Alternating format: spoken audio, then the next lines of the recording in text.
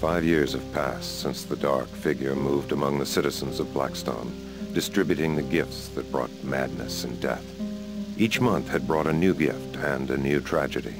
A doll, a woman's locket, then a cigarette lighter, a handkerchief, and an old-fashioned stereoscope. The public never learned the identity of the Dark Figure, but somehow everyone knew the old asylum was at the center of the tragedies. People got on with their lives. Oliver Metcalf, son of the last asylum keeper, married Rebecca Morrison. A year later, they had a son, who has since remained blissfully ignorant of the evil that has plagued his family. Now, the State Historical Society has renovated the asylum and plans to open it as a museum of psychiatric history. Malcolm Metcalf, the last superintendent of the asylum, was my father.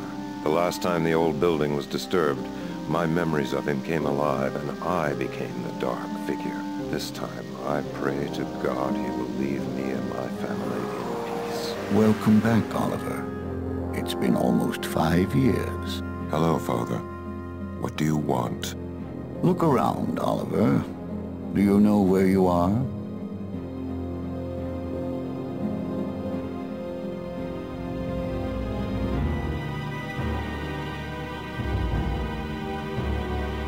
The old asylum, but it doesn't look like this anymore. It's all been changed.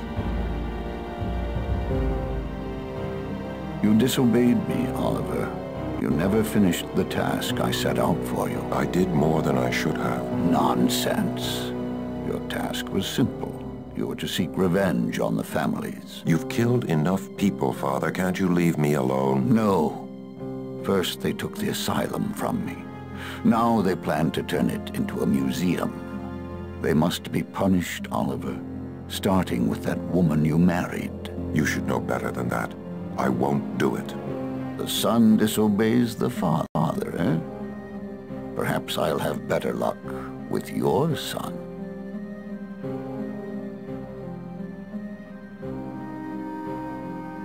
Joshua. Who are you? Grandfather Malcolm. I thought you were dead. oh, no. Come along with me, Joshua. I know some good games we can play. Okay. You see, Oliver, I mean to have my revenge. Perhaps you will see things my way before the night is through. I'm sure young Joshua will.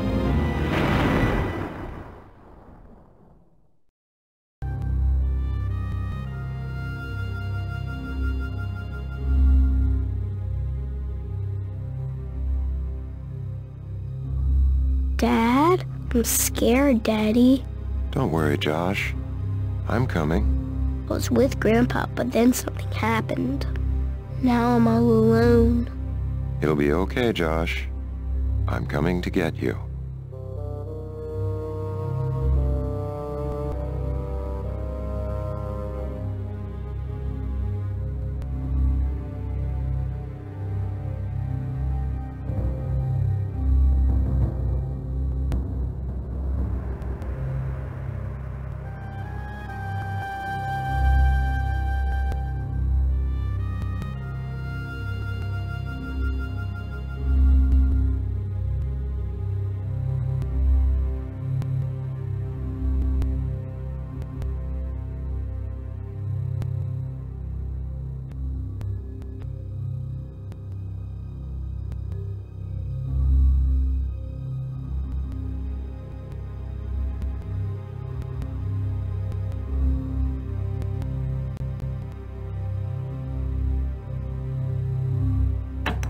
This is the way the entry hall looked before the Blackstone Historical Society purchased the asylum and began our restoration program.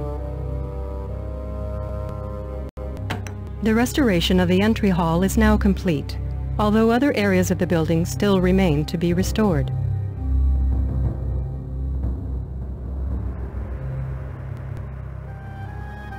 Welcome back, Oliver. Where have you taken him, Father? He's in the secret room. You know where that is, don't you? I haven't been in here for five years. You remember, Oliver. You just don't want to admit it.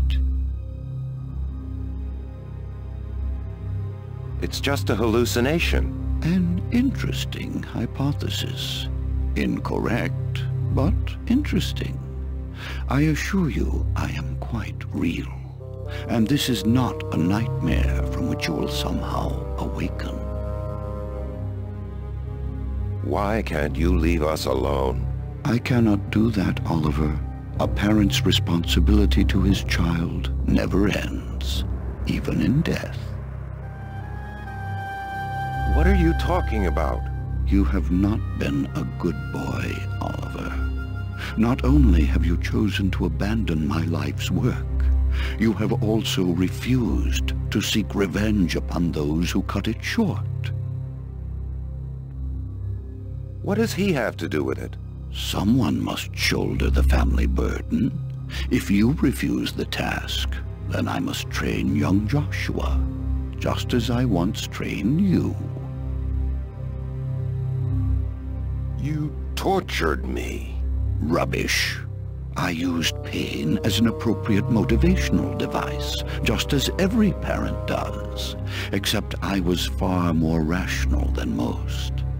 I never hurt you in anger, Oliver. Not every father can say that. Bring him back. No. You must come and get him.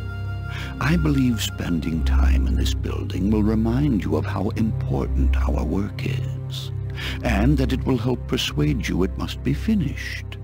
I want you to rediscover the part of you that is buried, Oliver. However, you have only until dawn.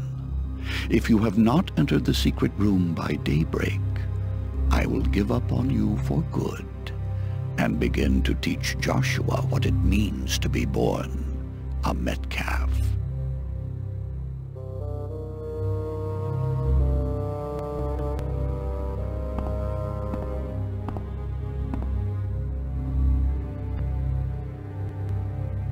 Apparently they're not quite ready for opening day.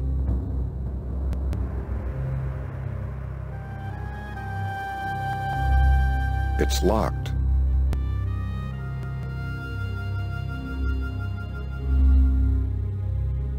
Paracelsus was the greatest medieval healer of his day. That is Hippocrates, the father of all medicine. I have a great admiration for Freud. He had profound insight into human behavior.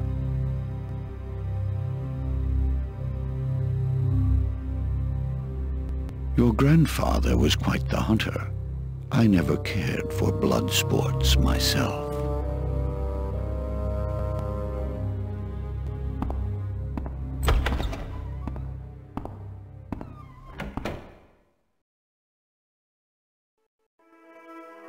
I liked these couches because they were comfortable, yet didn't allow the patients to slouch. The important thing was that they be too heavy for the inmates to lift. Fewer injuries that way.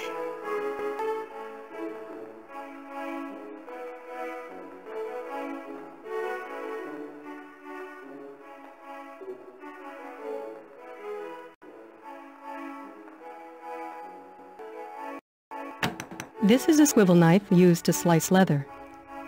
It is a myth that sharp objects had to be withheld from all patients. Some mental illnesses pose no threat to the patient or his fellow inmates. The awl was used by inmates working on leather crafts.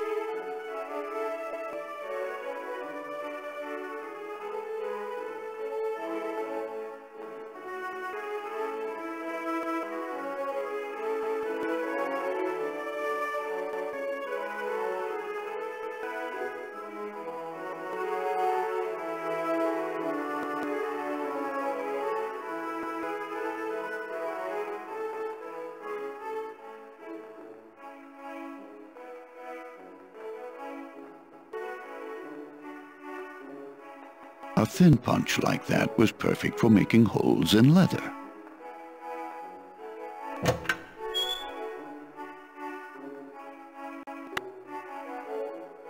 Nasty looking weapon, isn't it? I always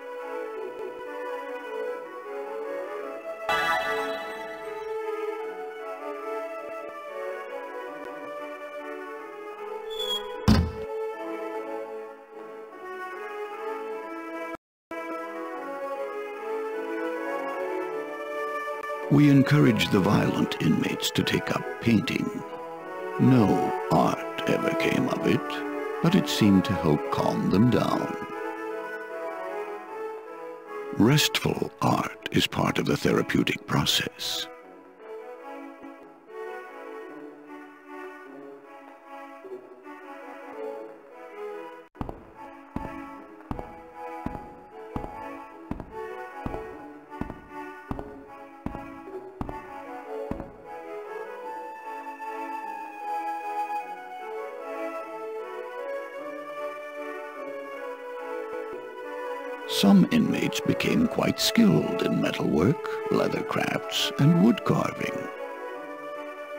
You may think these crafts trite, but they were very important to the patients.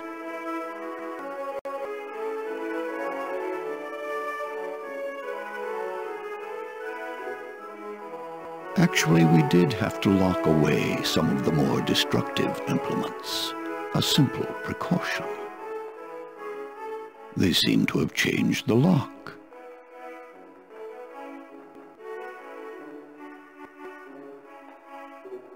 I often worried about those exposed hinges, but none of the inmates ever thought of removing them.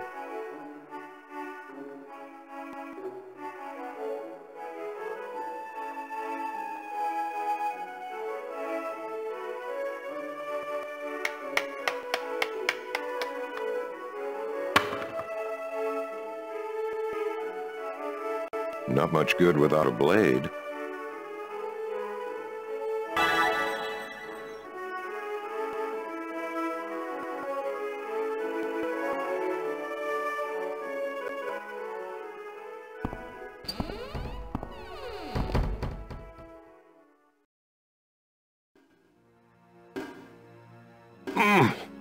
Doesn't budge. Doesn't feel cold at all.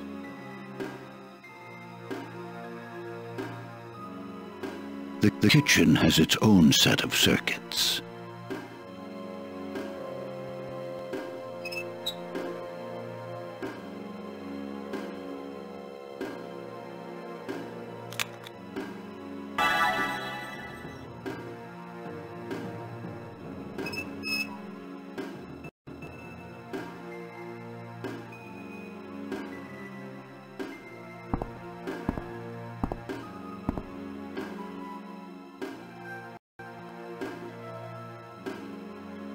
We ran off our own moon wells, purest water you could ever, ever imagine. This was just for spot cleaning. The automatic dishwashers are around behind the freezer. I thought I taught you better than to waste water. You'd be surprised at the edge you can put on a knife with one, one of these.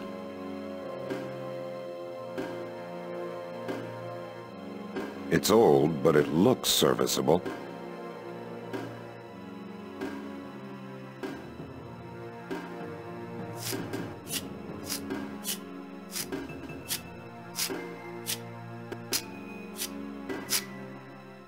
There.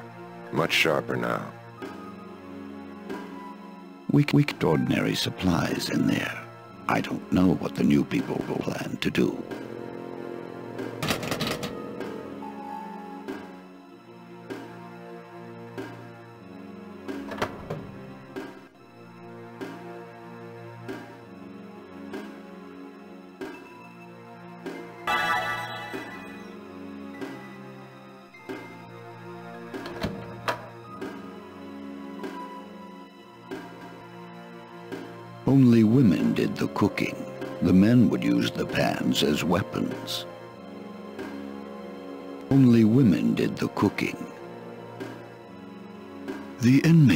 Surprising amount of the cooking. therapeutic and cost-effective at the same time.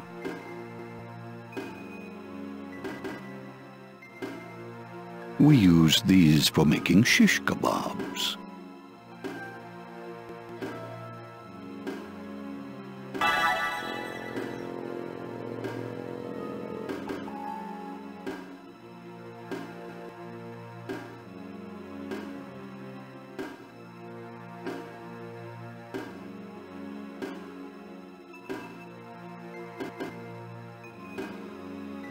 Essential tool for handling boiling lobsters.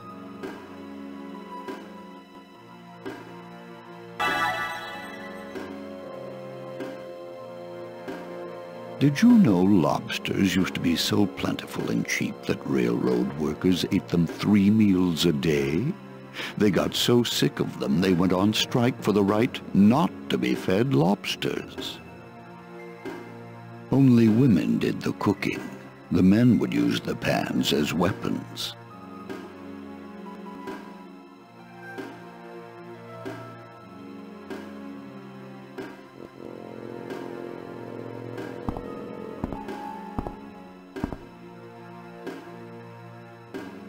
Our menus were meticulously planned by trained dietitians. I suspect the patients didn't appreciate the effort we put into keeping them on a healthy diet.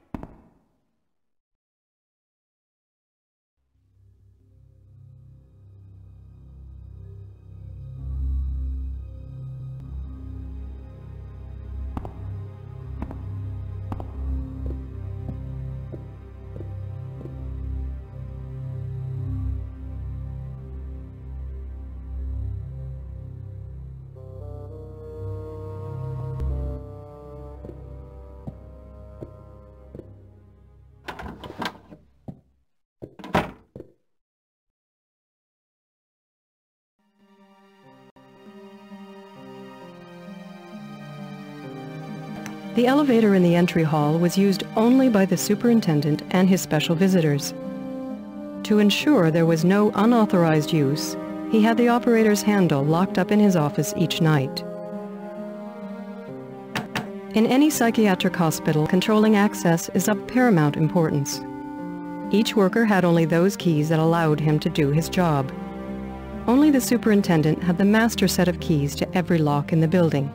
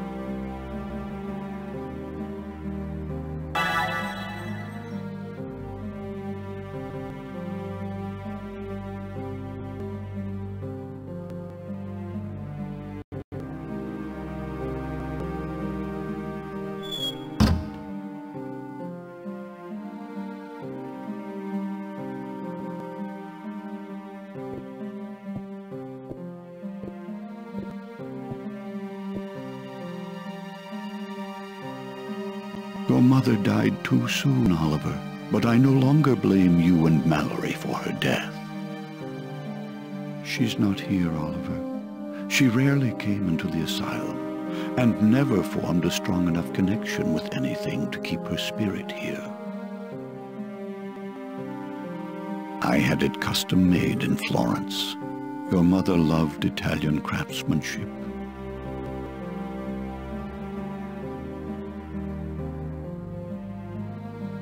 That is Donatien Alphonse, my college roommate.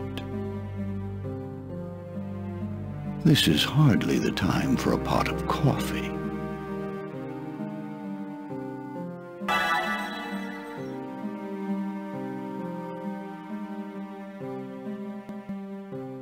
Louisa Hartwick. She was the leader of the women's volunteers here at the hospital.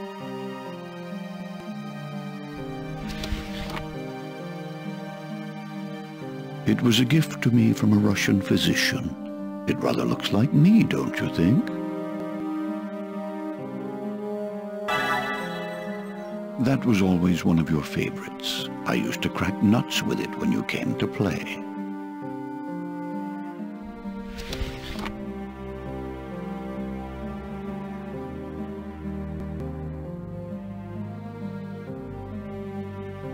That was taken on your third birthday.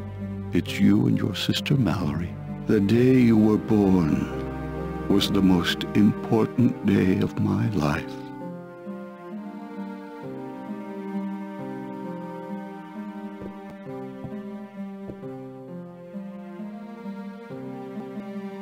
Password, Scooter. Hmm. I sure hope they remove this before they open next week.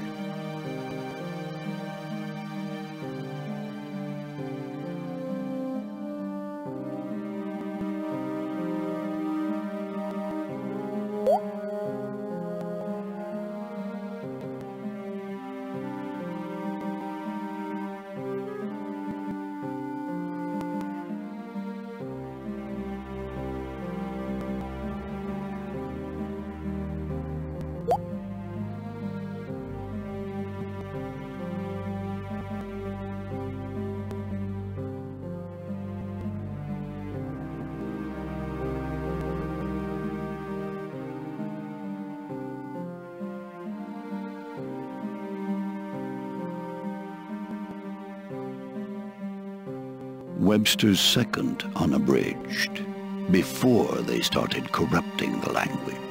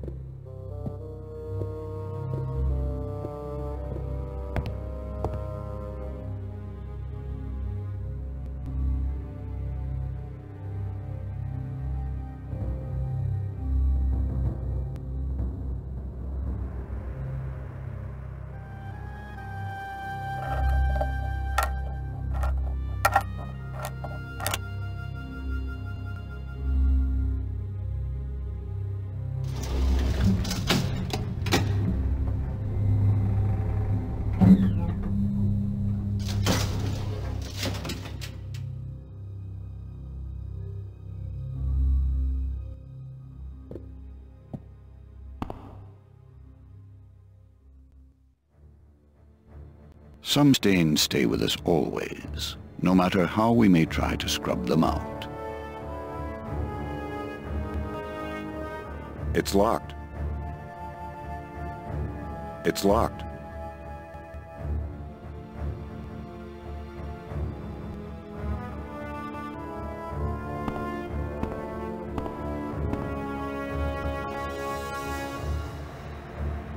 It's locked. It's locked.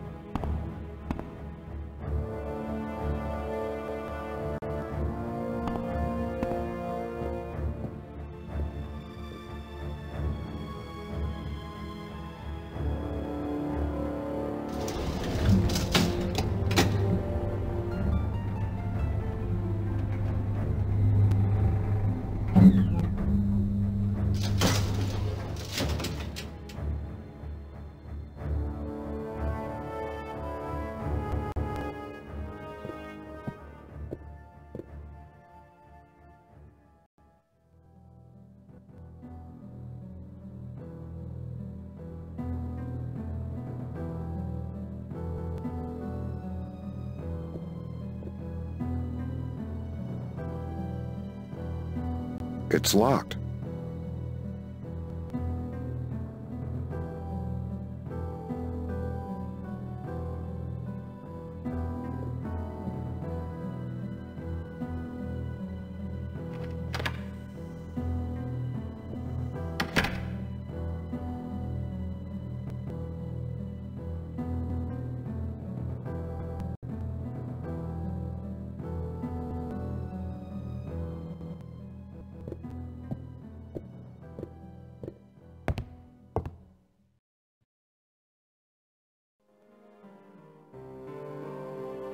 It's dark in here, Dad. It'll be okay, Josh. You've got Freddy with you, right? Yeah? Okay, well hang on to it. He'll keep you company until I get there. Okay. Hello? Is someone there? Who are you? I'm Marilyn Wilson. This is my room. Or at, at least it is until I have my baby. I'm due any day now. I'm very happy for you. Thanks. Talk to you later. Bye.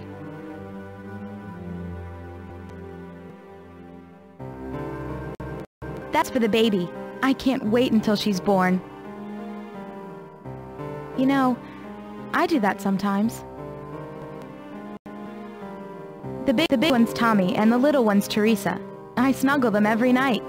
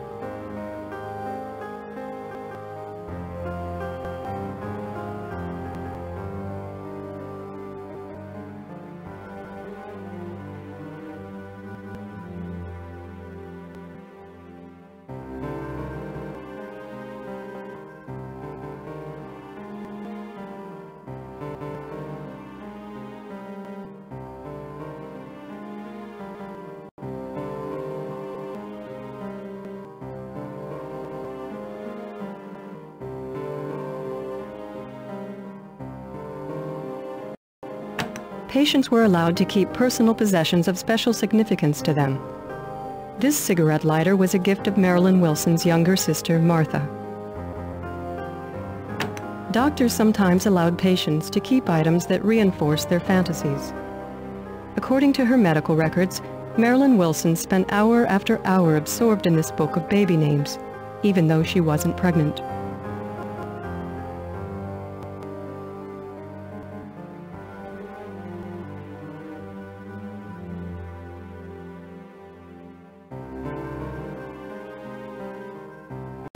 Graduating from high school was the happiest day of my life.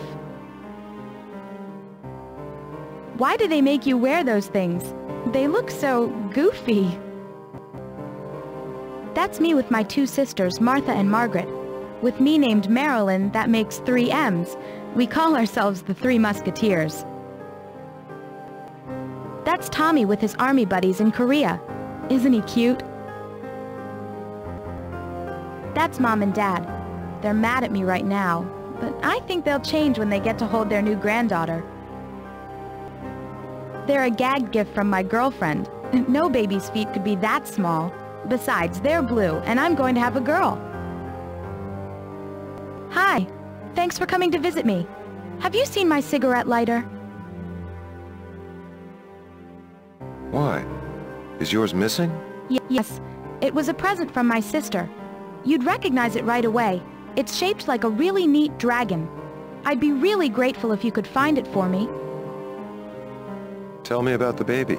She'll be born real soon. I say she, although I really don't know yet. But I'm hoping for a girl. Aren't you a little young to be having a baby? Yeah, I know. My, my parents are furious. That's why they put me in here. But when Tommy gets back, we'll get married and then everything will be okay. Is he any older than you? Tommy Gardner. He's my fiancé. He'll be 19 in November. Why isn't he around to help? He's in Korea. That's his picture with his army buddies on the bulletin board. With all the money my parents are spending, you'd think they could spring for more than just one lamp.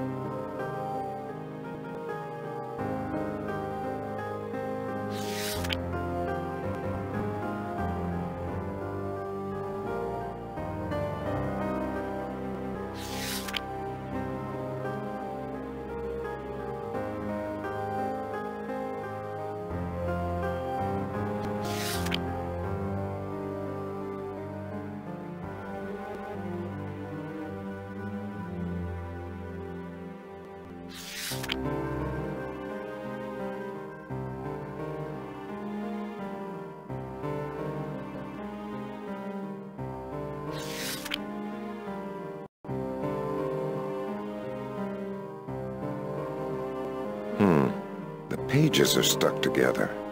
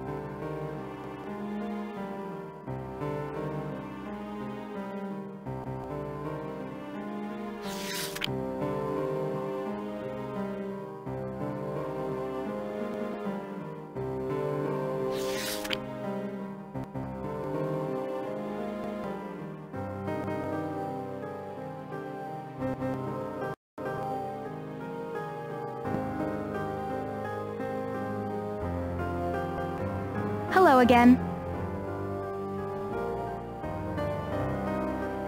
His name is Joshua.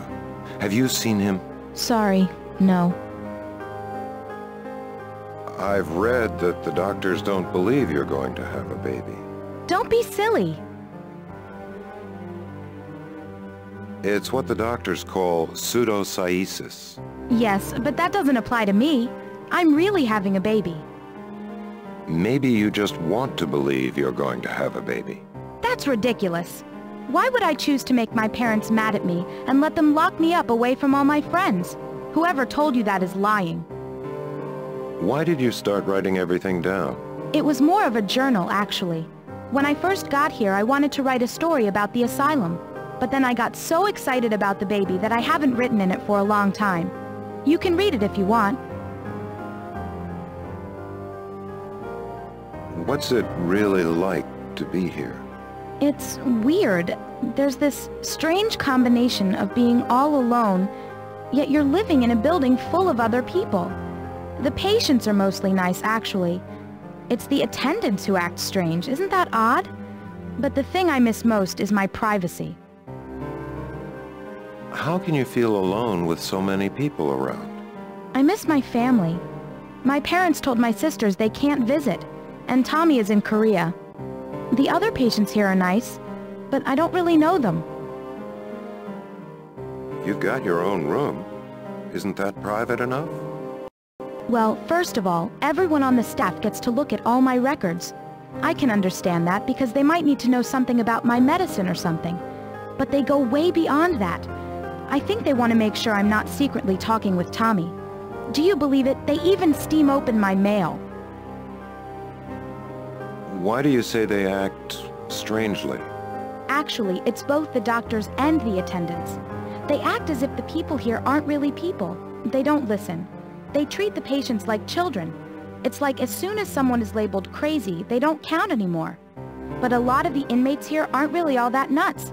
Or even if they are, they still deserve respect. I'm sorry. I shouldn't go on like that. It just makes me angry is all. Two of the diary pages seem to be stuck together. Can you tell me what's on the second page? Sorry, I really don't remember. Tell me about the medical treatments. Mostly they take me down to the hydrotherapy room. I can always tell when they're taking me there because the attendant gets out that big gray key that opens the door. Right now, I don't remember anything about what happens in there. Uh, But that's okay. I'd rather think about the baby. You're a good writer. Thanks. For a long time I wanted to be a reporter, but now I just want to stay home with the baby when she's born.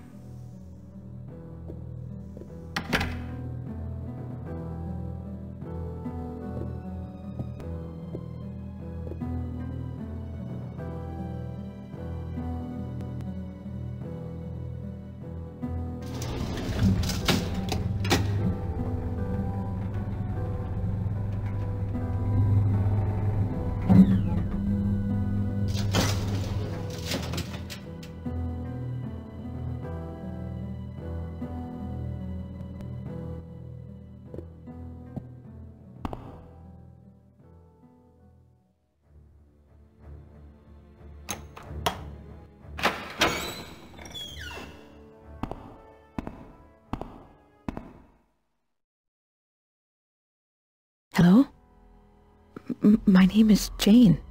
Who are you? It's nice to meet you. It's nice, nice to meet you too. Although the circumstances aren't very pleasant.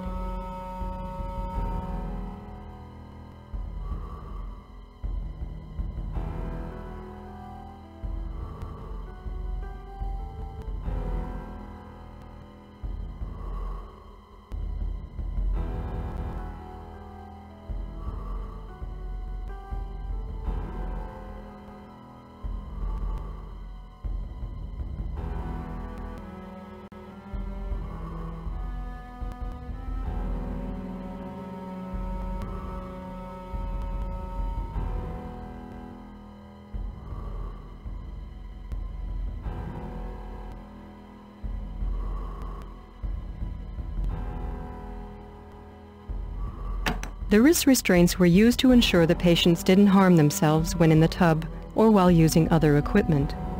Although they may have caused some discomfort, they were there for the good of the patients. I hated them. They made me feel like a prisoner.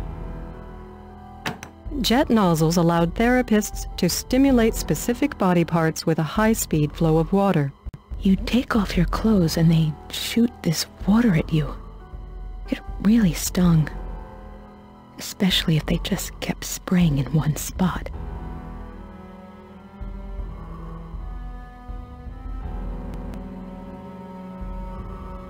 They wrapped us in those rubber sheets for hours at a time. Epsom salts, but you had to bribe the attendants to use them. I think they stuck the shells just for show.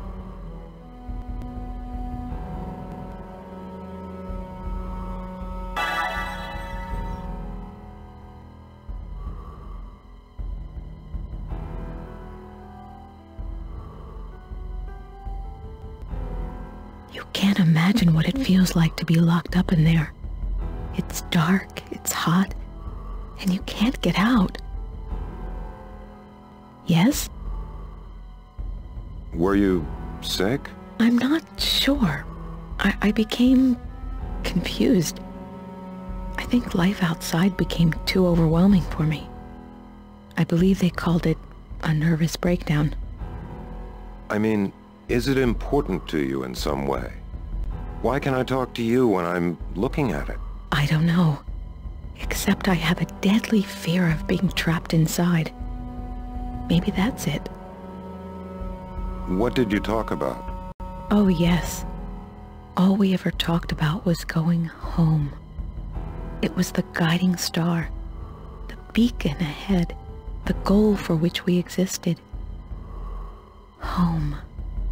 We talked about it constantly, endlessly. Every day we woke up wondering if that day would be the day. Even a criminal knows when he's going to get out. But we were in prison with no release date, with only the hope of one day returning to our husbands and children. What was it like? It was...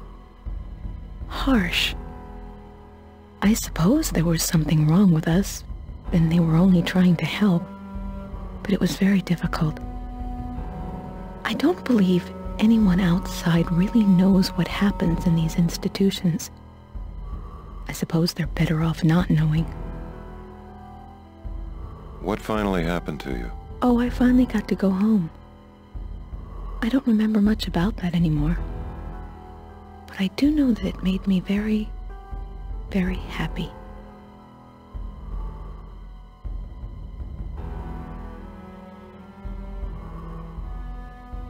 Once it's locked down, there's no getting out.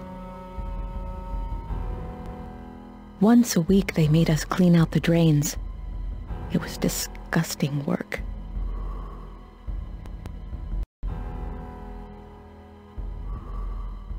We scrubbed those walls every day, but you cannot scrub away the smell of fear. I used to stare up at that window for hours, wondering what was happening outside.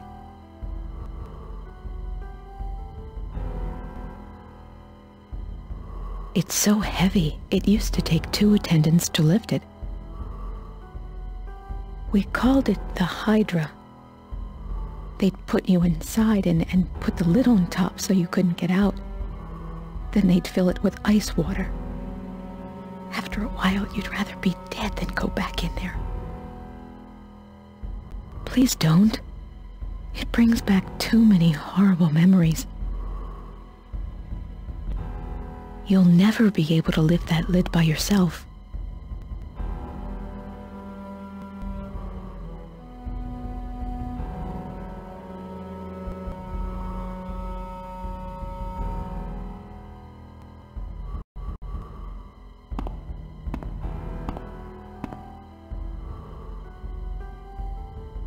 They'd keep us in there for hours at a time, but it never seemed to help much.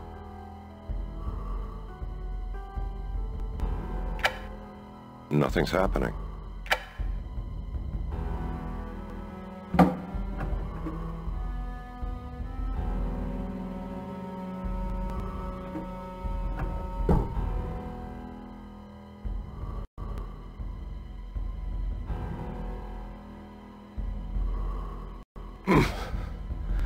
Must be some trick to it.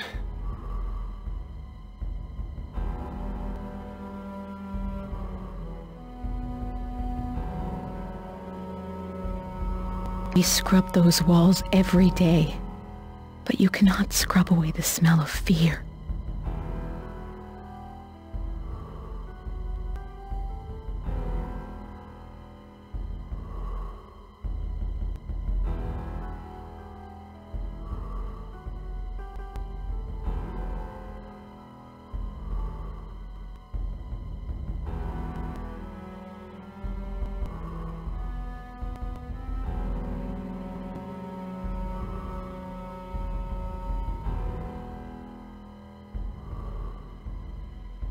Was a secret code that they used to turn the machines on and off. They never let me see what it was.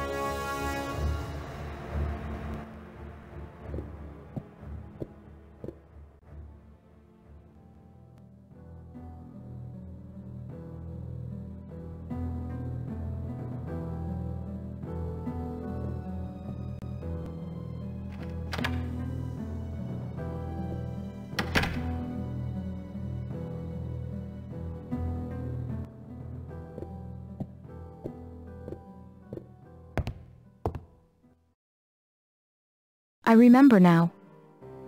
They killed my baby. Then I killed myself. How can I be dead and still talking to you? I don't understand.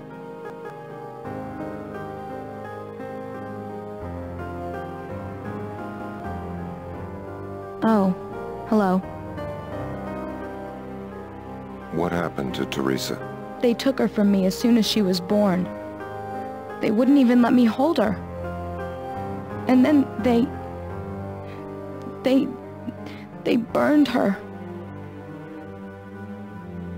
Do you have any idea what happened to your cigarette lighter?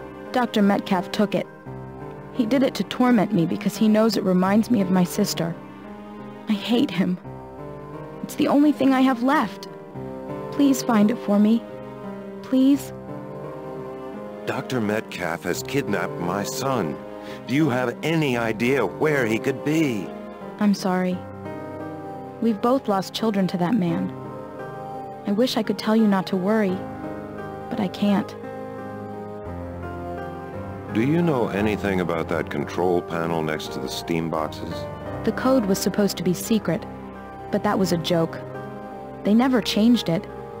All they ever did was flip the second and third switches from the top to on, and then everything would work. Your records say you were making this all up. It's a lie. My family is trying to cover it all up so they won't be disgraced, and Dr. Metcalf is in on it. But my Teresa was born, and she was beautiful.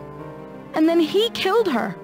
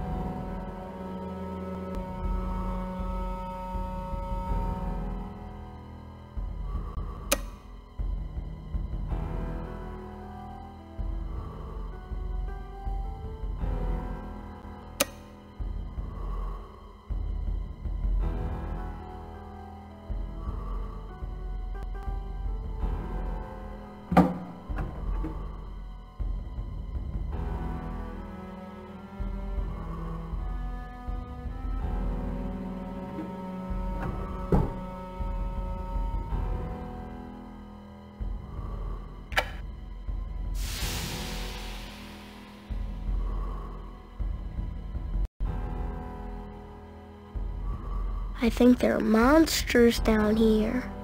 Freddy will scare away the monsters, Josh. Just like he always does. He's a good watchdog.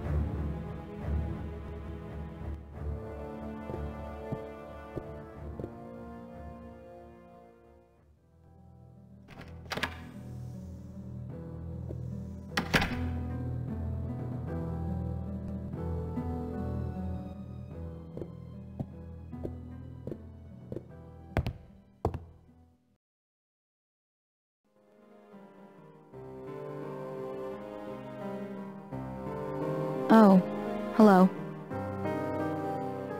Your diary says that Dr. Metcalf used to take you into the utility room. Why? That's where he would burn the things that belonged to me. The things I cared about. He said it would help make me feel better, but he was lying. He was just being cruel. Everything that was ever precious to me, he put into that furnace.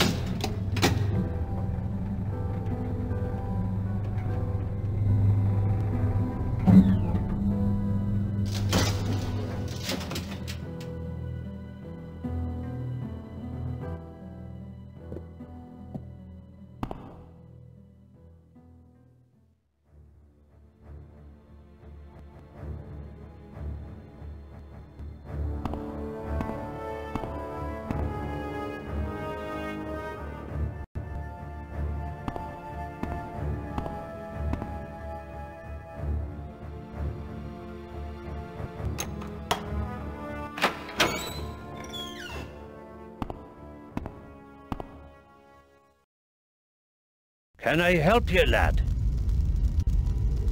What are you doing here? I'm just an old Irishman who left home looking for a better life. It's true I didn't starve, but I'm not sure I found what I was looking for. What do you think of it? Tis a hard place, lad. And there's not much difference between the people inside and the ones outside who are walking around breathing God's fresh air. And if I were one of those people, free and easy and doing what I pleased, it would scare me senseless to know that. Who keeps things running? Oh, the new lad. The one they have here now. He's doing fine. They'll not be missing old Seamus O'Rourke.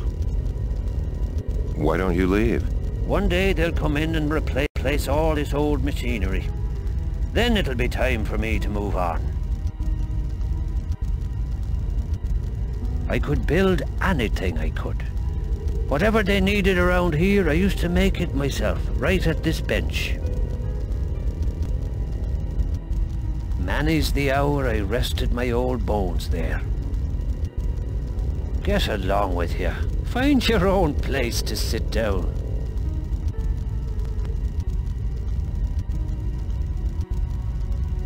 They're old and abandoned, just like me. Don't go poking your nose where it doesn't belong. There's nothing in there that concerns you. A temperamental old cow she is. She'd break down in an instant if you turn your back on her. And how far do you think you'd get in this place with no power?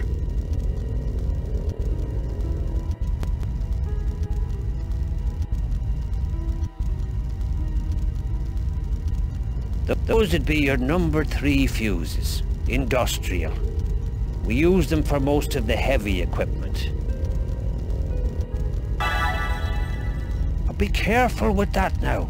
Don't hurt yourself. That's me old lightweight motor oil. It's amazing how long machines will work for you. All you have to do is take care of them.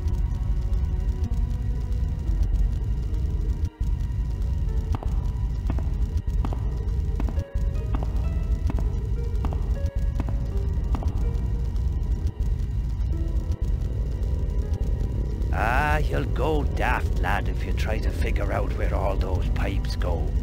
Leave that to an old expert like me.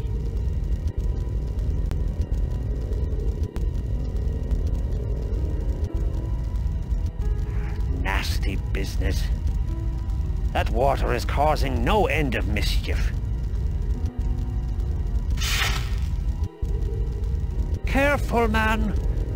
If you touch that cage or anything on it, you'll get a shock the likes of which would light up all of Dublin.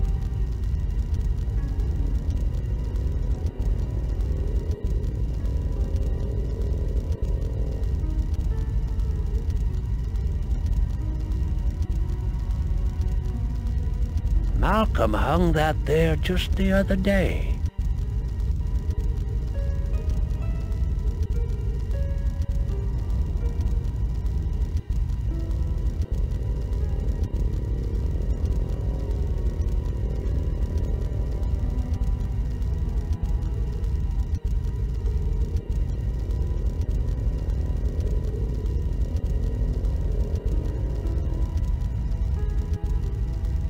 Yes, Oliver? Why did you take it? Are you sure I took it? Are you certain it wasn't you? Perhaps the museum people simply haven't placed it there yet. Where did you hide it? Oh, Oliver. You forget my goal. I want you to explore the asylum, to rekindle your old memories. Even if I did take the lighter, I would scarcely tell you where it is. Did she really have a baby? Marilyn was a very sick girl. You must remember that when you speak with her. Maybe you're just a figment of my imagination. It hardly matters, does it? If you are making this up, you have certainly gone insane. Yet if I am a ghost, then your rational worldview has developed a few cracks. Quite a problem, isn't it?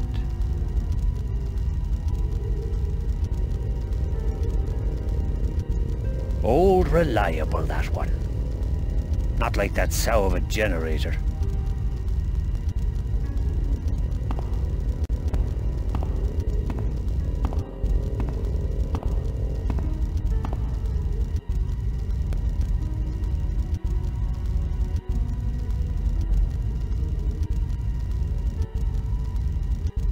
Certainly don't make them like that anymore. It's bolted shut. They're as tight as an Englishman's wallet.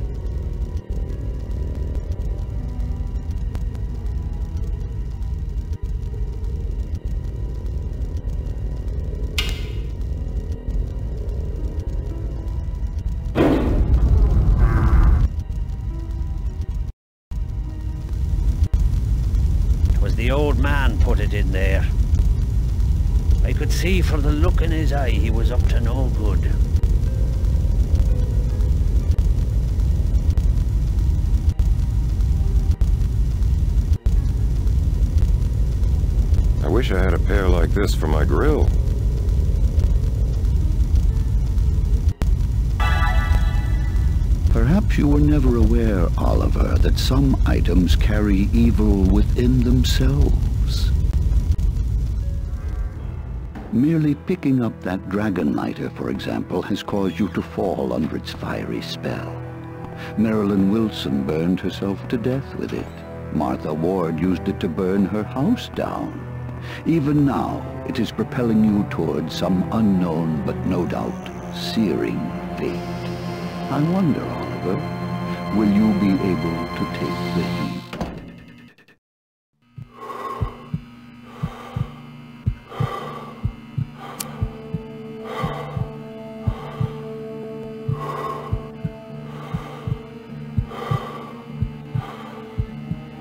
You're trapped! Better dead than red. Ninety degrees.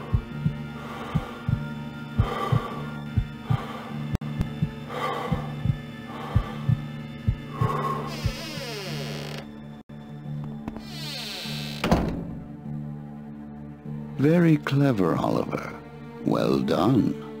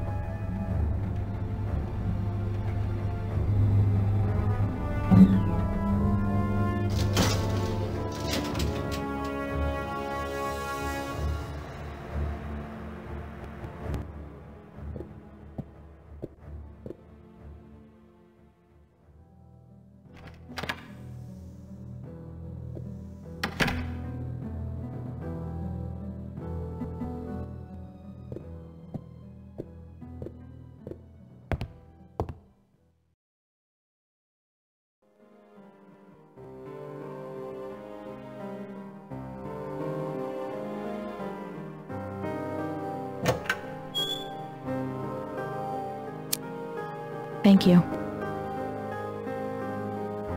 Don't mention it. Joshua is being held there. Can you help me find it? I'm afraid I don't know too much about the asylum layout. I was only here a short time before I died. But the women down the hall might be able to help you, if you can get them to make sense. They're a little... crazy. The key to the corridor door had a big W stamped on it. It's sure to be on your keyring, so you should be able to open it right up.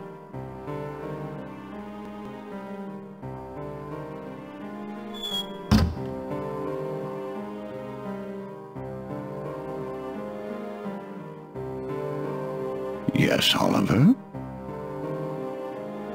What made me climb into that heat chamber? The lighter has an evil all its own. You fell under its spell.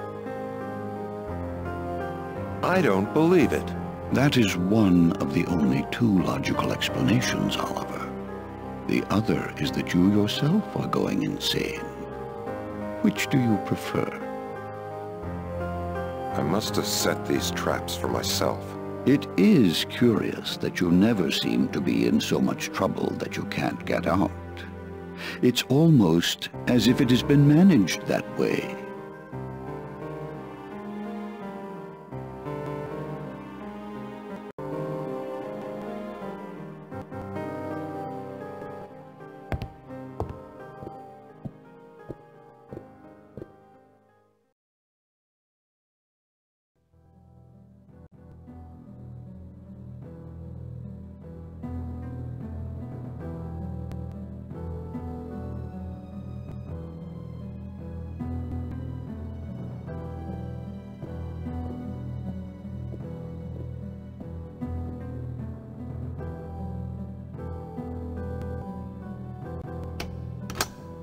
That key opens it right up.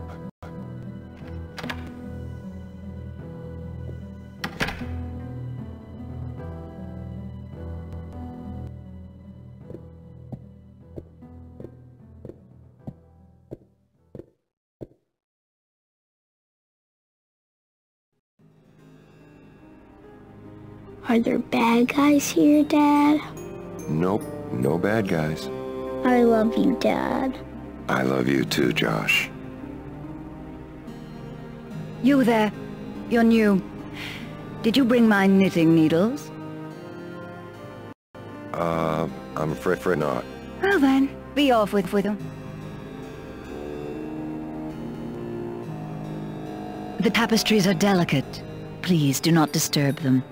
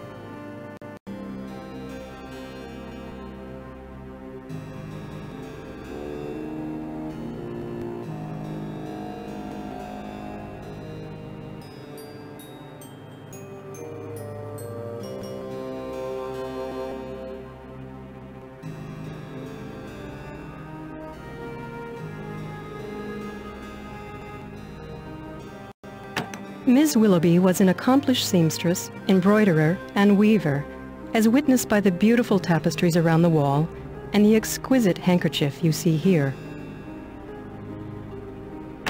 This is the room of Lavinia Willoughby, whom the staff called Vi. She was severely delusional and believed she was Mary, Queen of Scots. Her family indulged her in this delusion and paid for the special furnishings you see here. Yes? I don't believe we've been introduced. Such impertinence in a servant. I shall have Sir George reprimand you. Who's he? He is my host, if you can call it that. What would you, would you do with them? A servant does not question the commands of a queen. Fetch them, please. You are dismissed.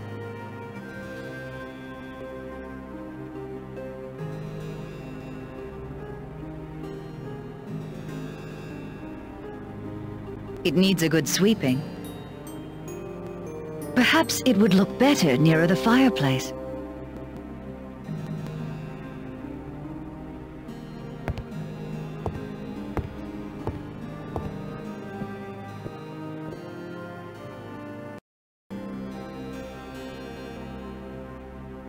I have everything else I require. I am only missing those needles. Have enough yarn, thank you. If I require more, I shall inform you. It has a wobbly leg. Perhaps you can fix it.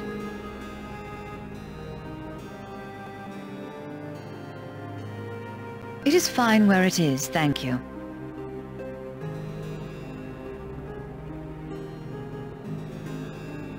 You may leave it alone. I am not yet ready to retire. Don't be impertinent.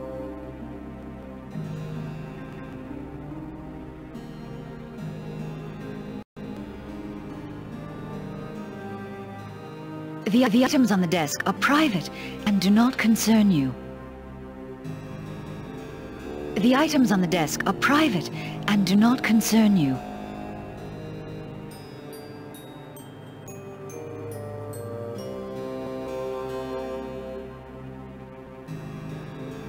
The items on the desk are private and do not concern you.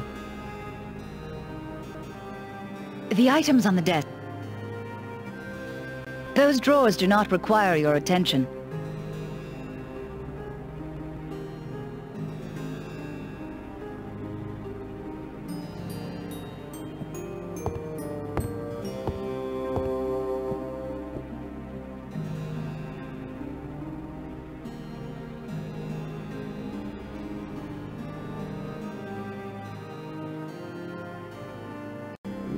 To your last pair?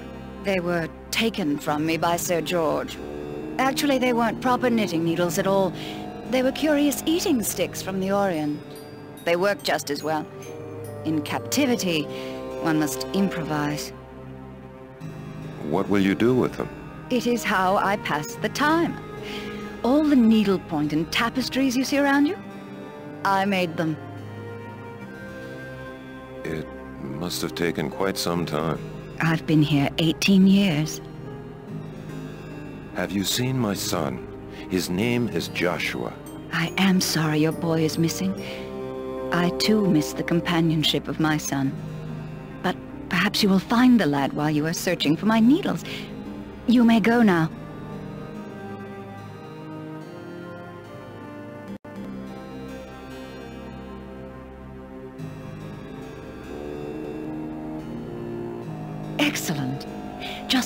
The box with the rest of my sewing things.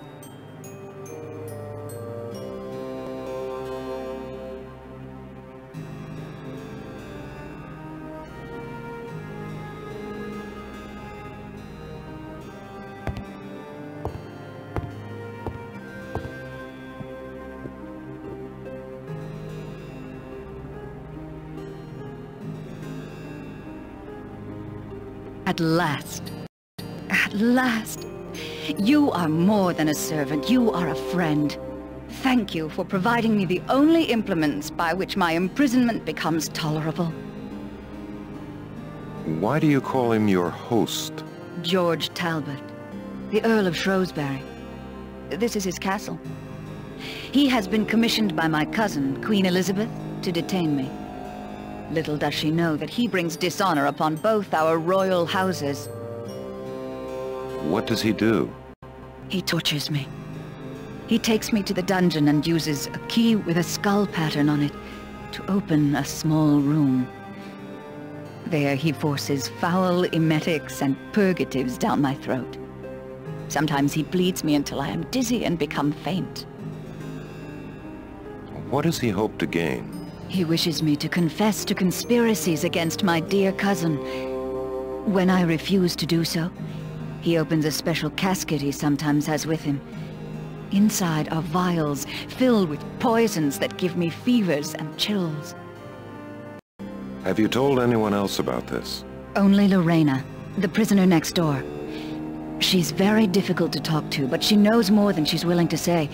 She is heavily guarded, but the key to her part of the prison has the number 26 engraved on it.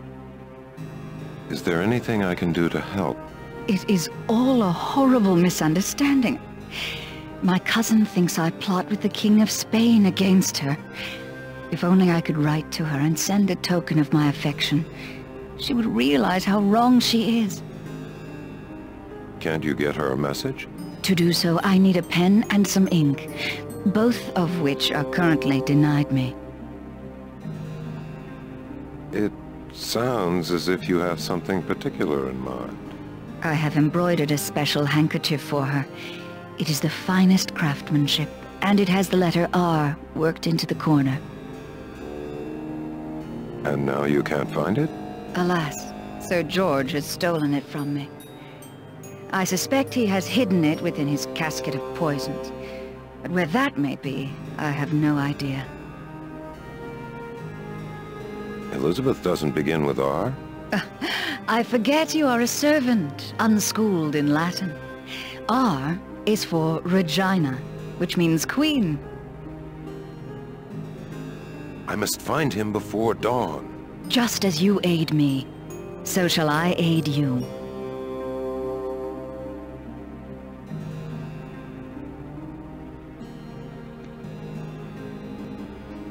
Without ink, I cannot write my cousin.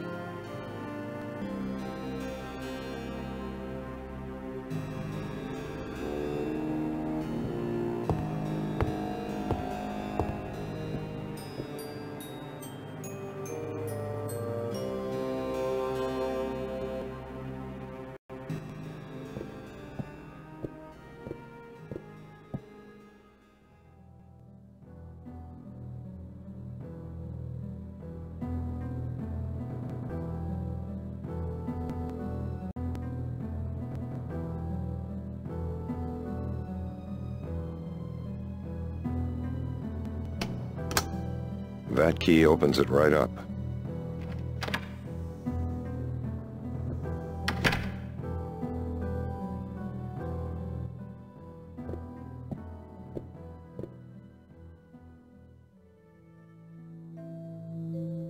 Freddy's tired, Dad. Maybe he can take a nap, Josh. It's way past his bedtime. He told me he's too scared to sleep. I'm scared too. I know, Josh, but everything will be okay. I'll be there as soon as I can. Are you one of Malcolm's spies? Go away. Who are you? What do you want? I'm looking for my son, Joshua. You won't find him here, young man. I'm a friend. I don't believe you. Everyone here works for Malcolm. He is an evil man. Very clever. That's just what one of his spies would say. What can I do to convince you?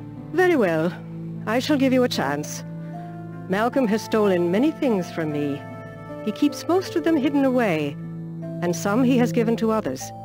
But one of them he keeps on display, knowing the pain it causes me. Bring me that item, and I will know you are not in league with him.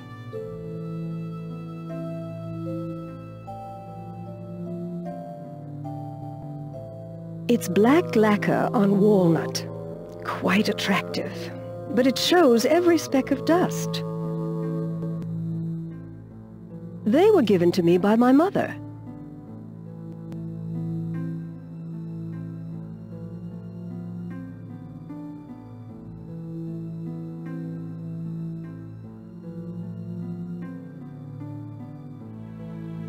M.M. Malcolm Metcalf?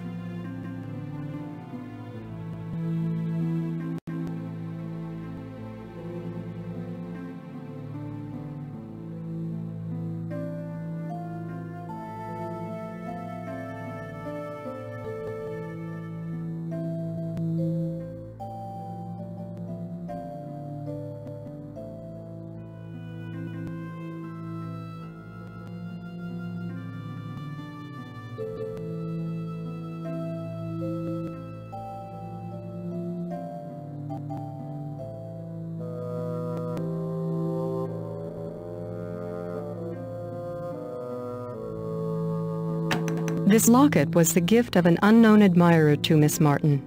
Unknown admirer? It was my father. People suffering from paranoia frequently believe others intend to do them harm, and they devise elaborate defenses against these imagined onslaughts. Miss Martin, for example, always wore these gloves to prevent her enemies from poisoning her through the exposed skin of her hands. Ridiculous. I wore the gloves because I liked them. The inscription says, My dear Miss Martin, Earth has not anything to show more fair. Fond regards, Mark Kendall. I should have been worried from the start. The quotation he selected actually referred to some buildings.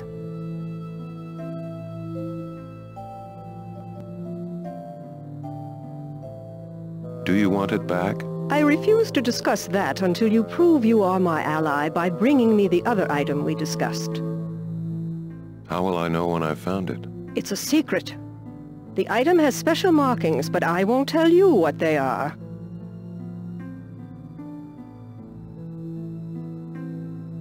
Yes, Oliver?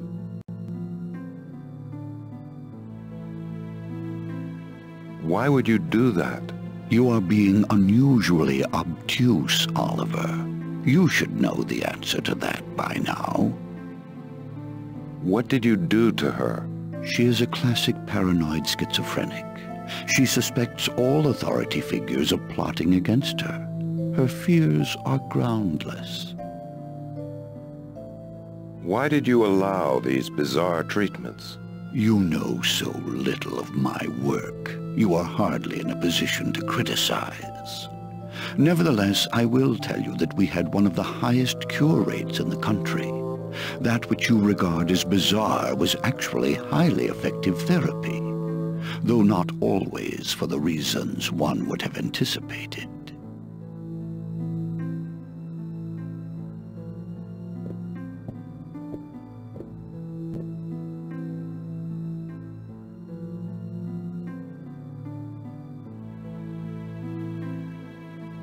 It's a Giuliano original. It's from the 1929 Paris exhibit.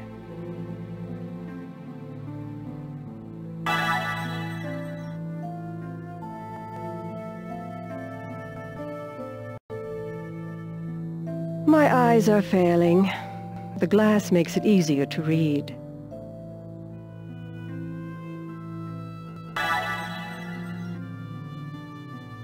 Inscription reads, Meryl, this should keep you up a few nights. Love, Wendy. A gift from my sister. Her sense of humor can only be described as macabre.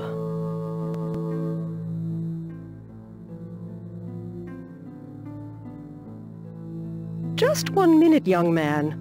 How do I know that pot is mine? It matches your cups and saucers. Yes, but many pots look the same. There is something special about my coffee pot, and until you can, can tell me what it is, I refuse to believe you have truly carried out, out my request.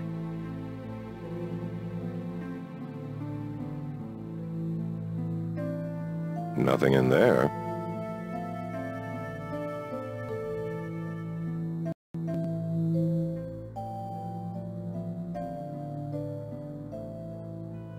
M.M. Malcolm Metcalf?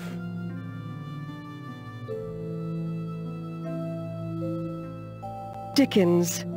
I find him wonderfully soporific. I love Poe. He's so mysterious.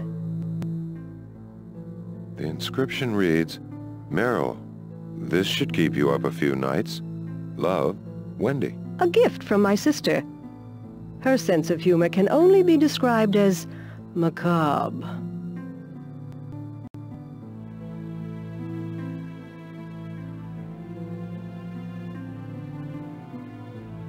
It's Florentine leather.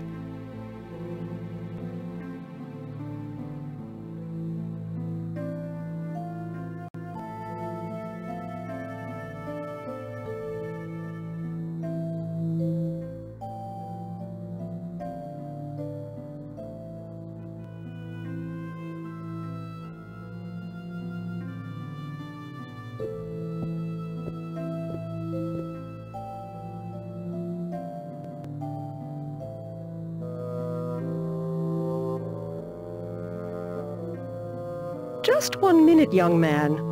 How do I know that pot is mine? There are two M's on it. Yes? Anyone can see that. Each period is really a small bird. You are correct.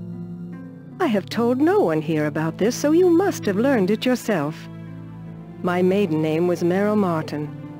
My mother named me for two of her favorite birds. When I married, she gave me this coffee set and said, you may change your name, but here's a small reminder that you will always be my little bird. Was he your husband? Is. He is my husband. But when I turned 50, he decided he wanted to trade me in on a younger model. He couldn't get a divorce without losing my money, so he cooked up a scheme to have me committed. He got Dr. Metcalf to go along, and so now he has his floozy and my money as well. Do you wonder why I'm bitter? Is that legal? Didn't you know? It's very easy to get someone committed involuntarily to a mental asylum. All it takes is two signatures and your rights are gone. Be careful, young man. This could happen to you. Can't someone get you out? Once you have been branded insane, the world looks at you differently. If you write letters, no one answers. If you make telephone calls, no one listens. Admit it. Even you aren't sure whether or not to believe me. Do you remember the ECT treatments? Oh, how could anyone forget? They would take you down to the basement and open the door with a key that looked as if it could unlock the Bastille. Then they shoved a piece of rubber in your mouth and attached some wires to your head. The orderlies would hold you down. Then the shock would come. Like a white hot steel bar behind your eyes. Ten dentists drilling on exposed nerves couldn't cause this much pain. Do you know anything about a secret room? I have some information that may help you. But first, I want you to help me. You've proven adept at recovering items that Malcolm has stolen from me. I would like you to recover the item that means more to me than anything else. It is a locket. It's hanging from the circuit board. I doubt that Malcolm would leave something so precious lying about in such a manner. Where do you think Malcolm hid the locket? There is a wall safe in Malcolm's office, behind the picture of his wife. There was a trick to opening it. He would press a certain spot on the frame. It would make a peculiar, hollow sound, and then the picture would swing open. I believe the locket is in there.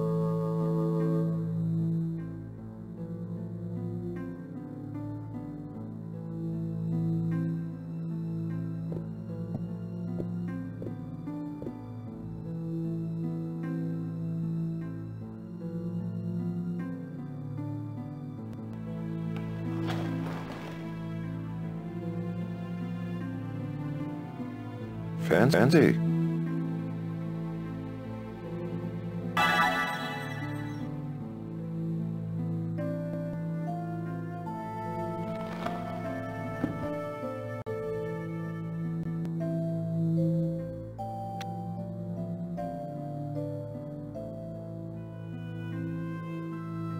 Hmm. Pretty handy for seeing if someone's sneaking up behind you.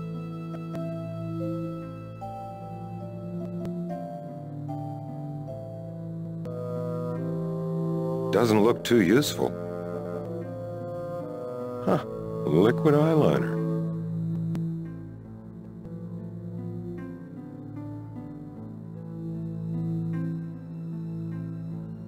Fancy.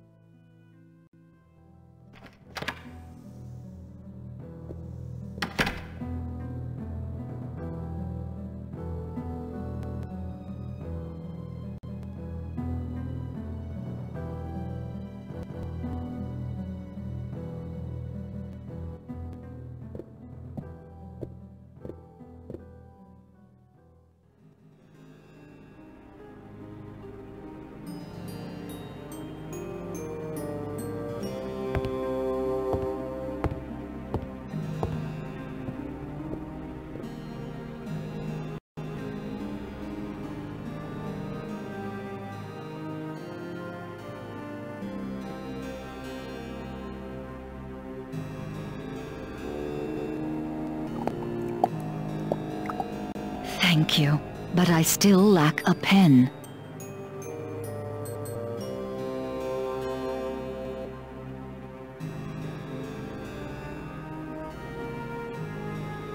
Thank you. With both pen and ink, I can now write to Elizabeth. Oh, if only I had the handkerchief as well.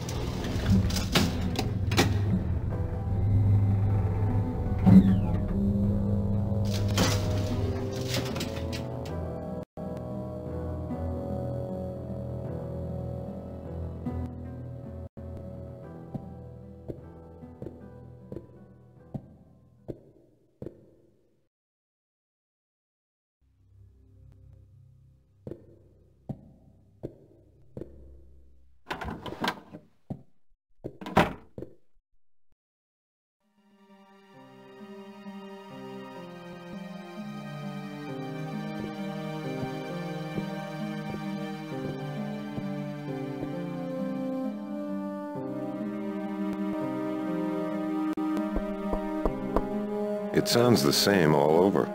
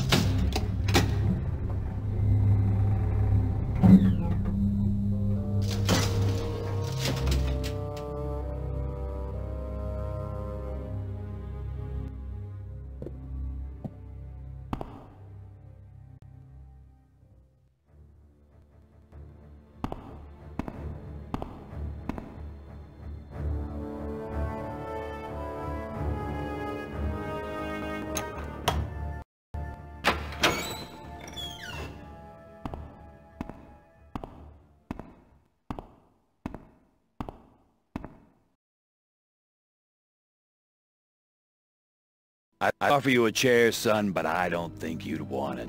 The name's Nick.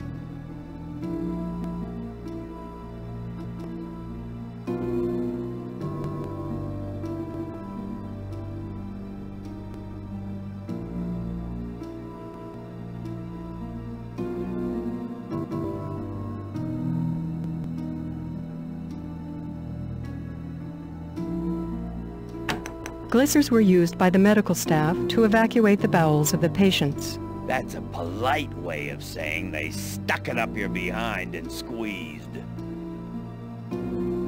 Lancets and scarificators were used to bleed the patients. It was believed that doing so would bring their bodily humors back into balance. Bull hockey! They did it to keep us weak so we couldn't fight back.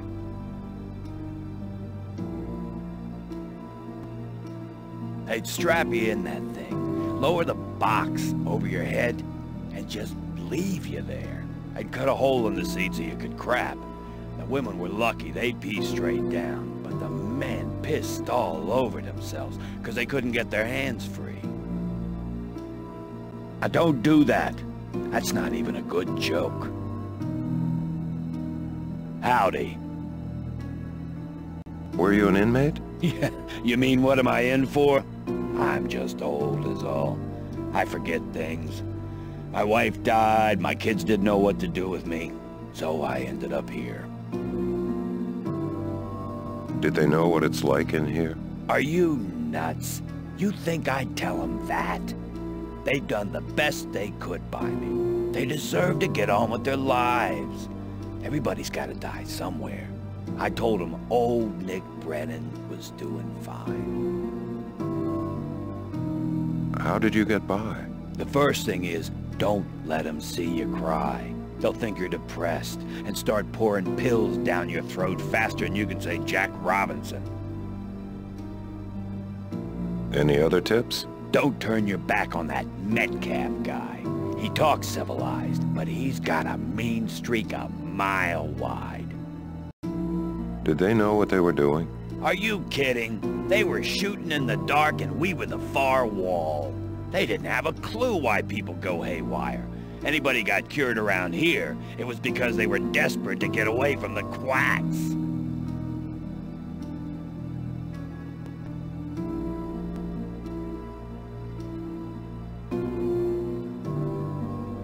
That's where they'd catch your blood when they open your vein. You got no idea what it's like to sit there and watch your blood drain out, knowing if the orderly doesn't come back in time, you'll bleed to death. Take two swallows of that Ipecac, and your lunch will be on the floor in no time. Add a pulgite. It'll stop you up like a potato up your tailpipe. I don't know what's in that one, and I don't want to find out. That's where they keep all the medicines. They pretended it was scientific, but me, I think it was just mix and match. I remember Dr. Metcalf used to keep some kind of key in one of them drawers. I knew it was important, so I made up a way so I wouldn't forget. But all I remember now is the name Mandy Lee. It must have meant something to me at the time, but now I forget what it was. Now don't do that. It'll take you all night to root through them drawers. Think, man, think. Mandy Lee. It must mean something.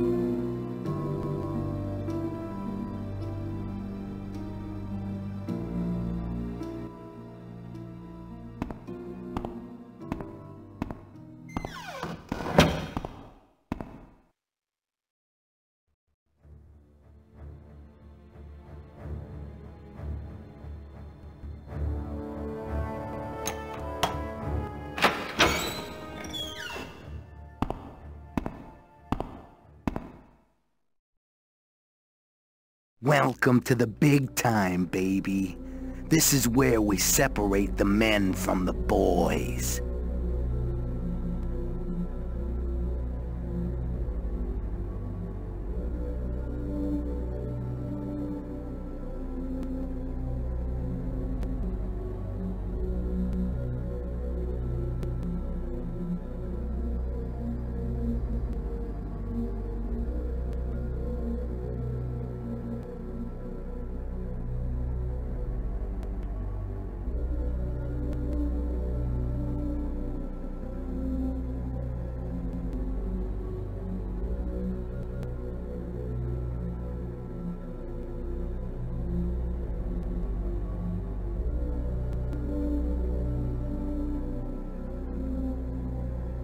The basic stethoscope has changed surprisingly little through the years.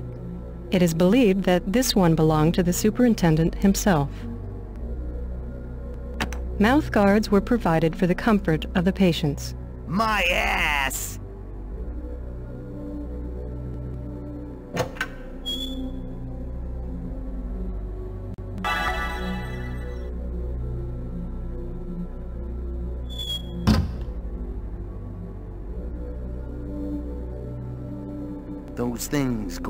Across your chest, not your arms, see? Because when the volts hit, you spasm so bad, your arms would break. So an orderly stands on each side.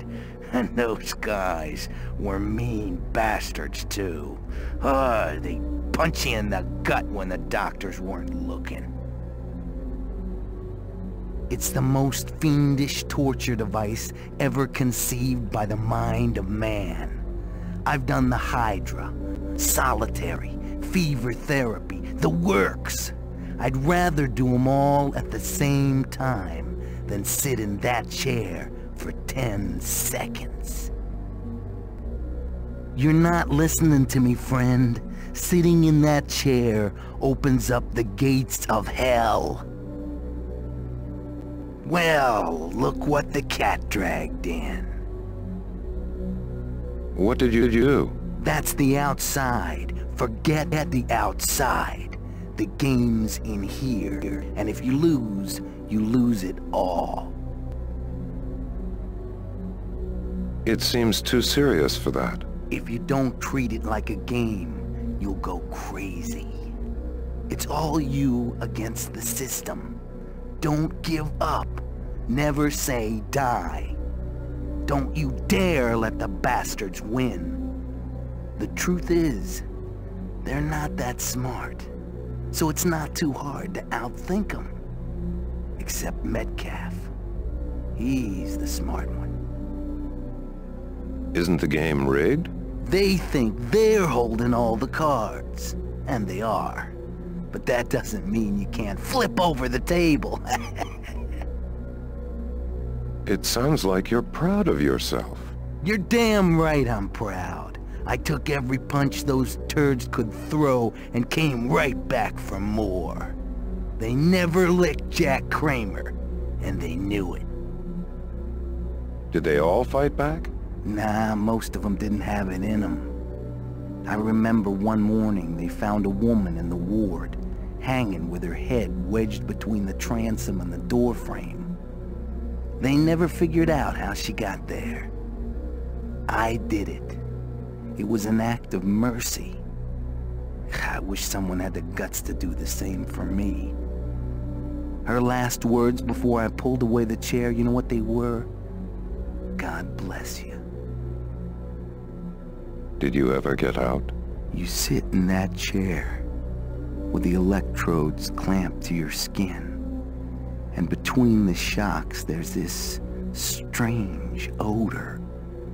And then you realize that the last smell that's in your nostrils as you die is the stink of your own flesh burning. No, I didn't win. Nobody won. That's the frequency machine. They got a guy stands there who turns the dials so they don't match the numbers behind your head. If they do match, some kind of resonance thing happens. The machine blows a gasket, and they gotta go to Boston to fix it.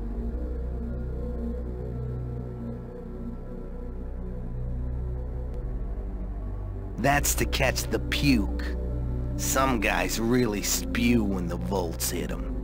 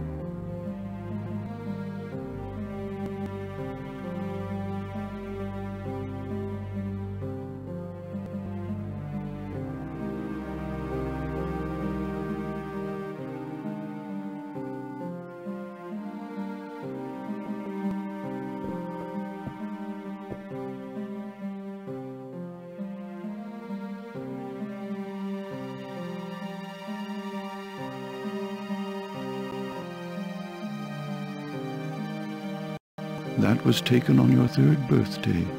It's you and your sister Mallory.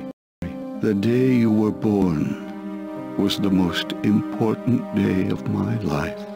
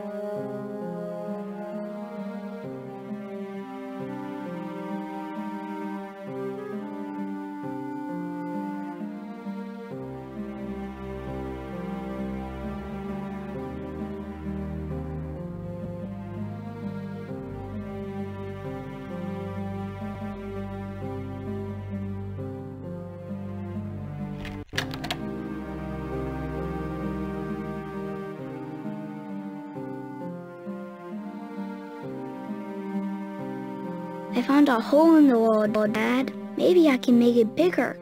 You're a good boy, Josh. I'm proud of you.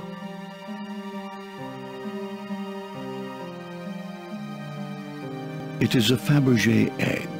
It looks delicate, but if you don't know the trick to opening it, it would take quite a bit of pressure to get it to crack.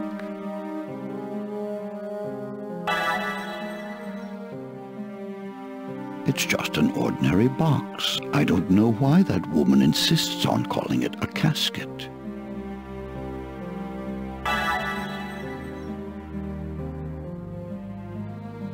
It is a Fabergé egg. It looks delicate, but if you don't know the trick to opening it, It would take quite a bit of pressure to get it to crack.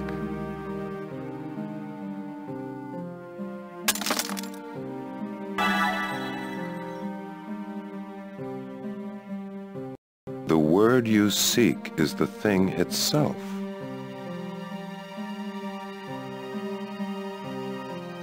It's just an ordinary box. I don't know why that woman insists on calling it a casket.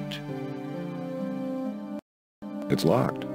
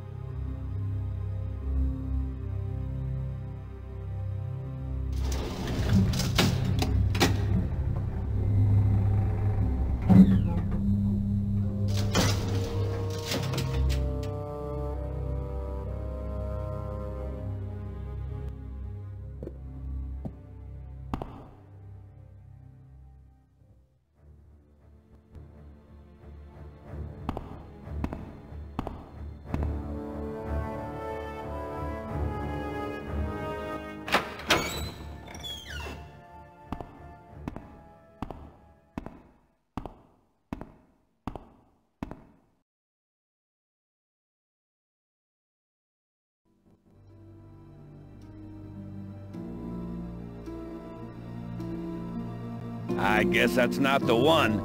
You sure you know what you're doing? They all look kinda the same. You can see how I'd forget, can't you?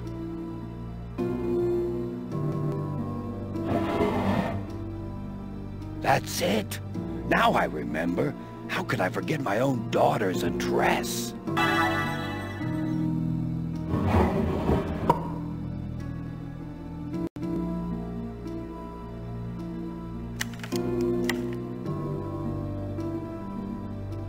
Just an ordinary box. I don't know why that woman insists on calling it a casket.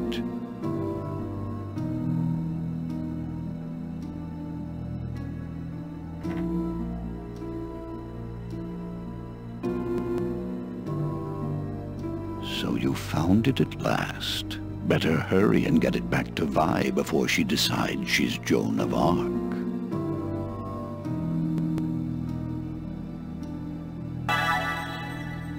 Each of these vials contains a highly concentrated dose of a lethal biotoxin. One is snake venom, one is bubonic plague, the third is typhus, and the last is malaria.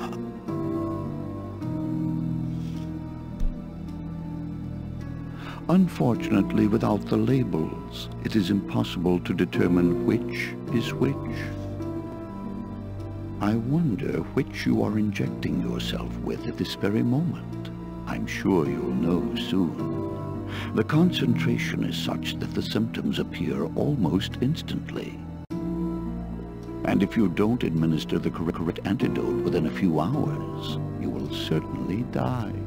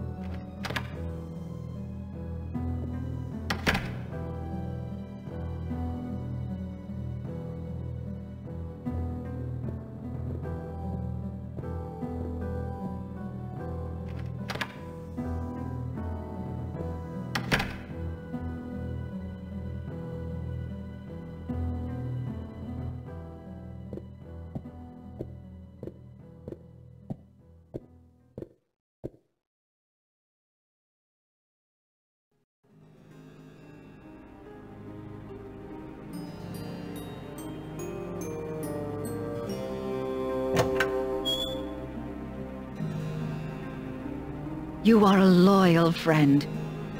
My thanks for returning to me that which was stolen. One of the poisons has entered my body and I need to counteract it. Sir George had another box in which he kept the antidotes, but alas, I, I do not know where he kept it.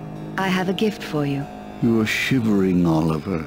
That must be the first symptom of the biotoxin making its appearance. What is it? I have been saving a file to saw through the window bars that I might escape on the day the King of Spain sends his soldiers. Now that I can write to Elizabeth, I will no longer need it, for I know I can rely on her clemency. Take it with my blessing. When you find your son, use it to escape this foul prison. How might I find this file? It is concealed in a clever panel on my bedpost. Press the crown, and you will find it inside. Did Sir George ever speak of a special hiding place? The prisoner next door once told me she saw our jailer emerge from a false door, but I have not seen this myself.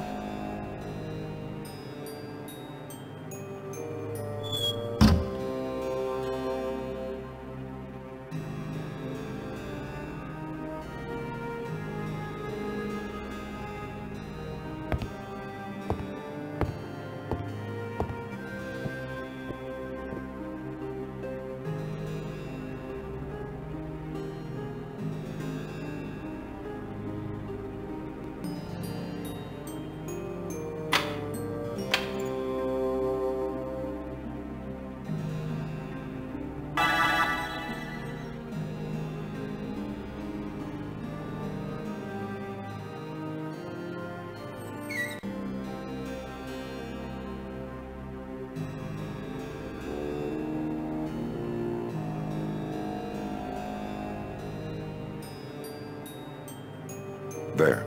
That should work.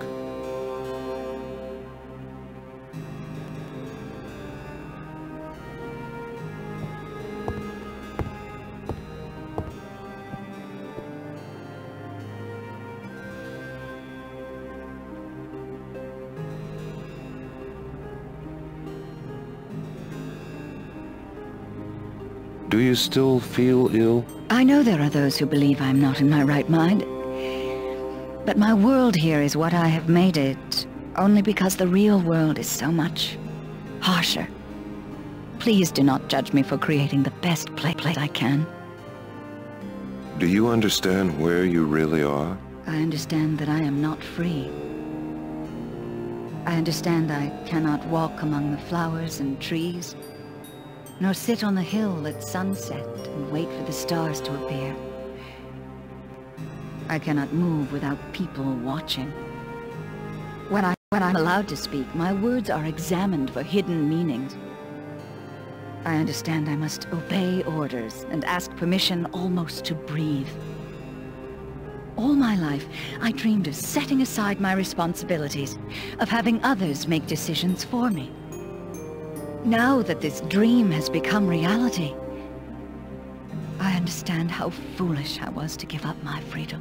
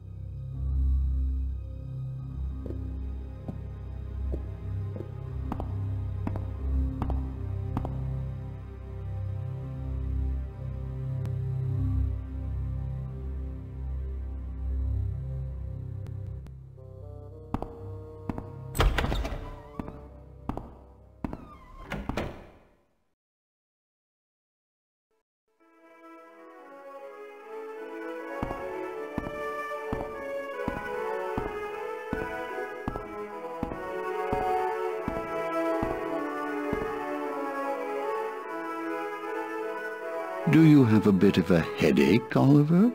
That's the second biotoxin symptom. You really should do something about that, you know.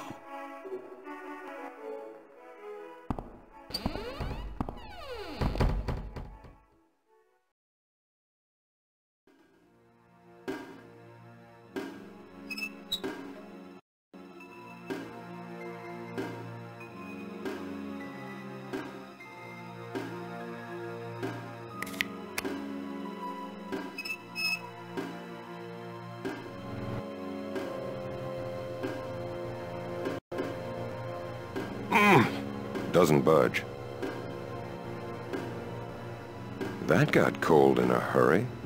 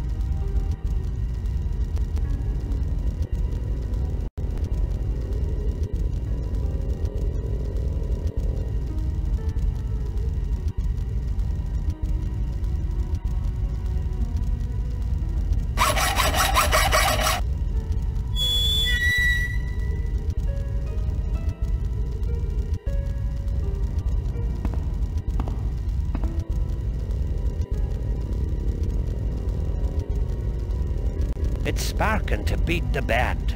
It's a wonder the thing hasn't melted with all that current running through it.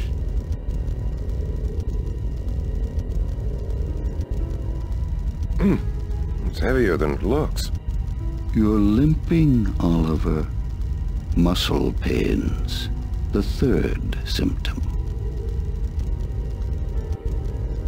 Smart move, lad.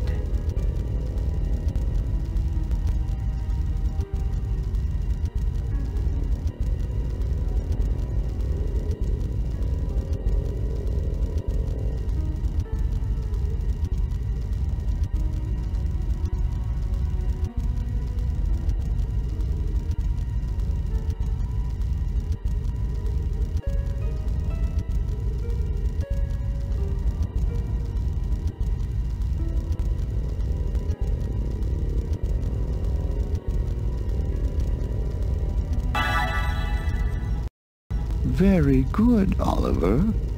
Unfortunately, the locket is an item that encourages ill-advised activities. Where are you going now? The clock tower to throw yourself off? The cistern to drown yourself? I don't know why you're doing this to yourself, Oliver. It really isn't necessary, you know. So it's to be electric shock this time. Awfully dangerous, Oliver. If it doesn't kill you outright, it will probably leave you a vegetable for life. Quite painful, too. Why can't you be more reasonable and just do as I ask?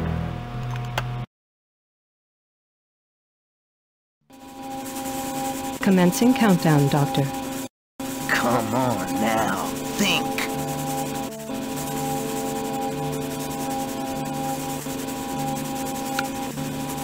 Ninety seconds.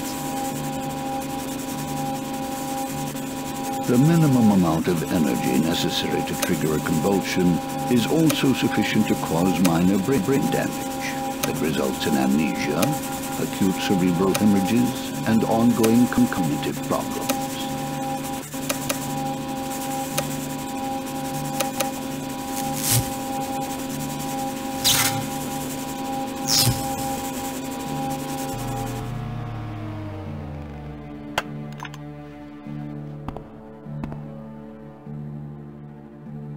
Congratulations, Oliver. You have lived to fight another day.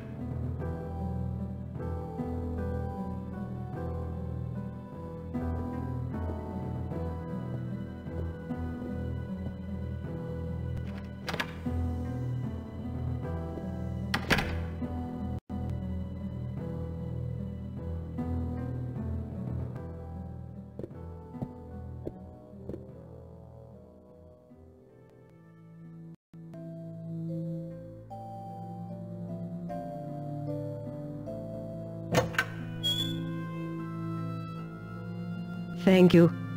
You cannot know what this means to me. What did he want with it?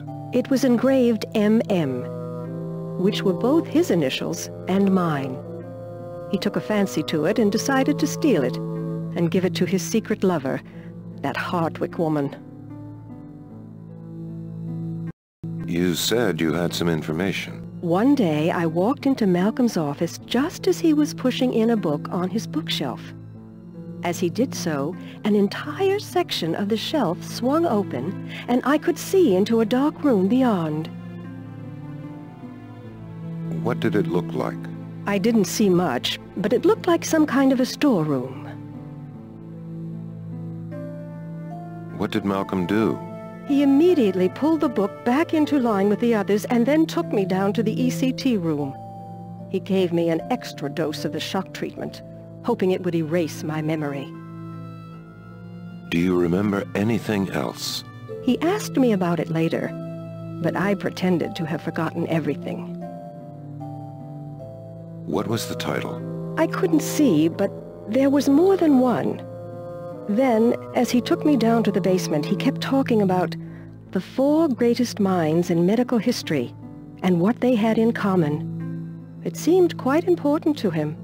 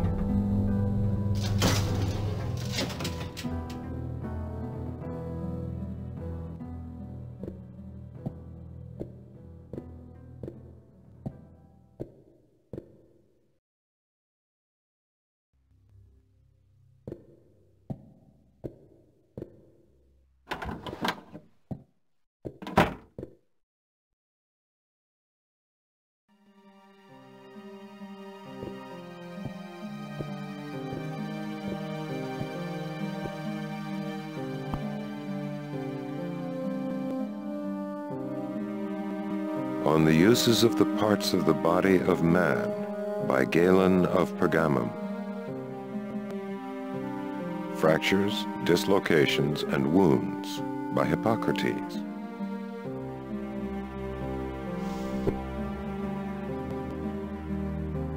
Al-Hawi by Al-Razi. Vesalius, De Humani Corporis Fabrica. On Aphasia by Freud.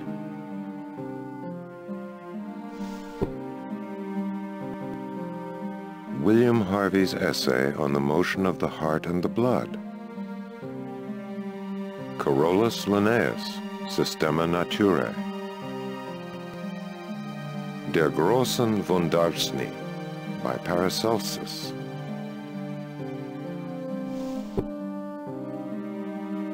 Physiology of Psychosis by Metcalf. Avicenna's Canon of Medicine.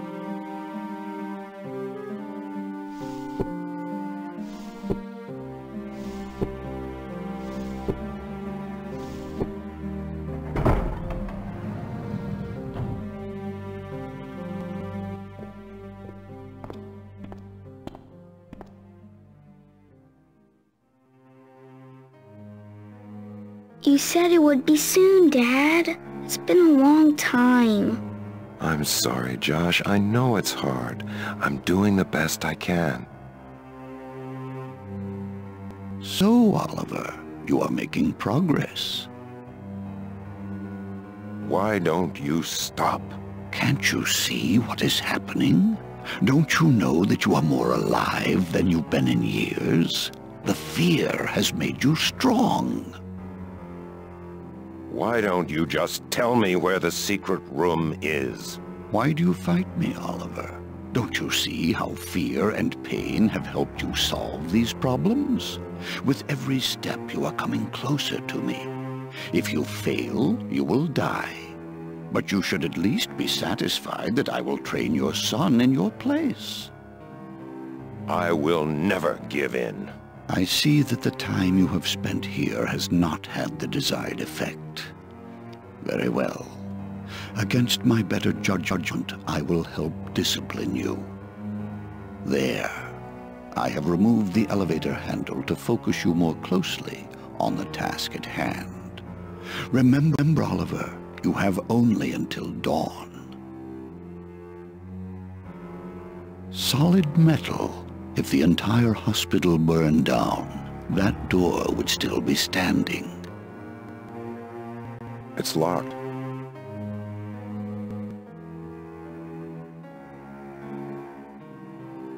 I bought it in Brazil at the same time as the box you found in the safe.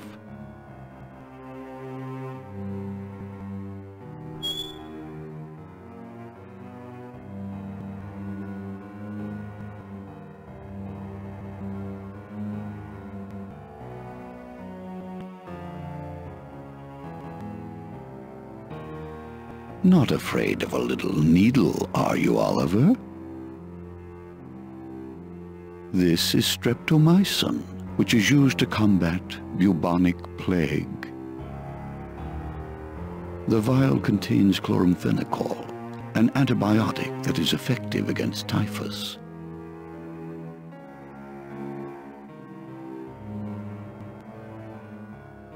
Quinine. Take it if you believe the neurotoxin was malaria. That is antivenin. If you think the toxin was snake venom, then this is the vial you should choose. It seems you almost lost your balance there for a second, Oliver. Feeling a little dizzy? Nauseous too, huh? Your symptoms should make it obvious by now which biotoxin has poisoned you. Shivering, headaches, muscle pain, nausea. If you do not administer the antidote quickly, you will die very soon. This is streptomycin, which is used to combat bubonic plague.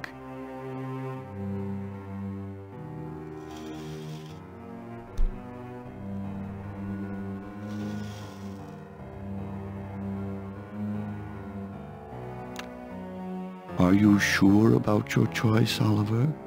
Or are you still in doubt? It doesn't matter, I suppose. You'll learn the results quickly enough.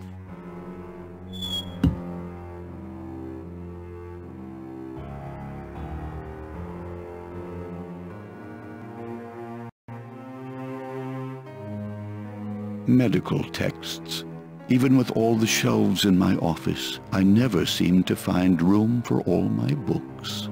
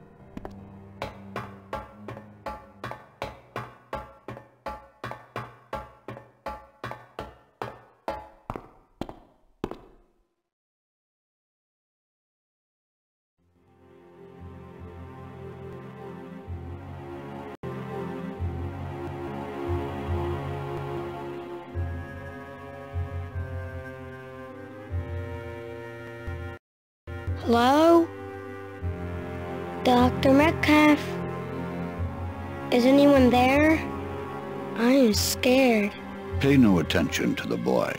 Oh, don't worry. He can't hear me. Only you. I won't hurt you. Okay, it's been a long time since anyone came to visit me. What's your name? Well, my mom called me Abby. But after I came here, they said that couldn't be my name anymore. How old are you? Six and a half. But I'll be seven next month. He's just a little younger than you. Does he like to play with dolls? He likes Batman. And he has some toy soldiers. I have a doll. Except she's missing right now. What does it look like? Not it, her. Her name is Samantha. She looks just like my mom. She has long brown hair and a pretty red dress. What happened to her? I don't know. I sure miss her. I hope you find her. You sound nice. Would you like to play a game?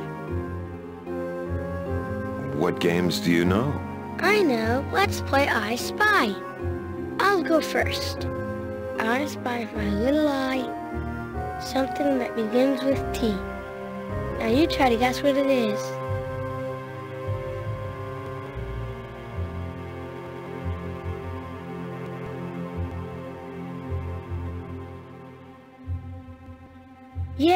Got it. Okay, here's another one.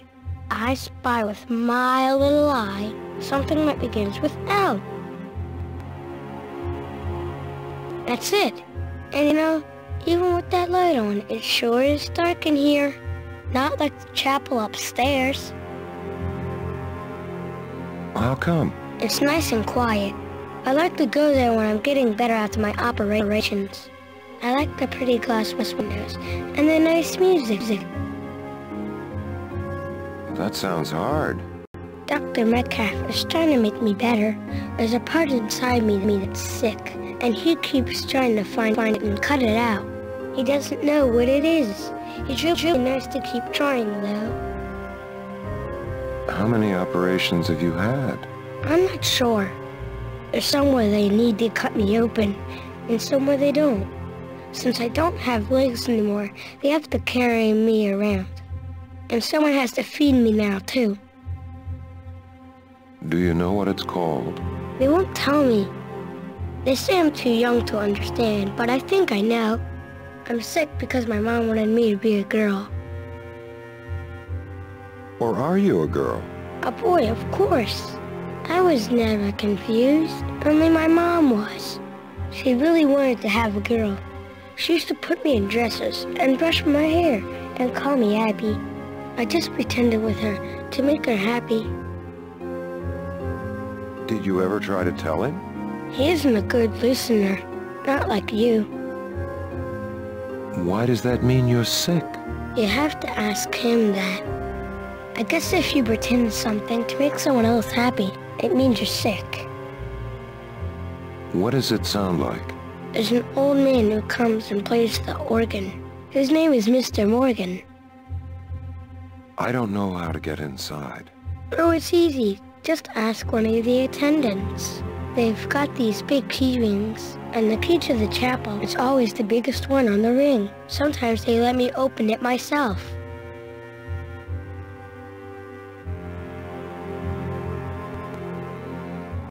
Henry Cotton, our greatest authority on the focal infection theory. A brilliant man.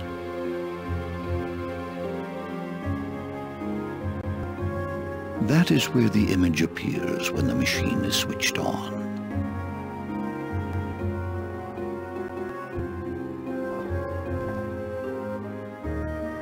You've stopped shivering, Oliver. Perhaps now is a good time to tell you that choosing streptomycin to get rid of your bubonic plague was a smart move. My diploma from the Sorbonne.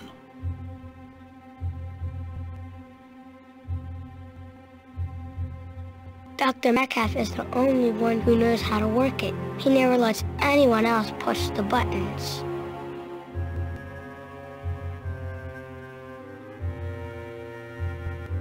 I performed some of my most brilliant surgery on that table.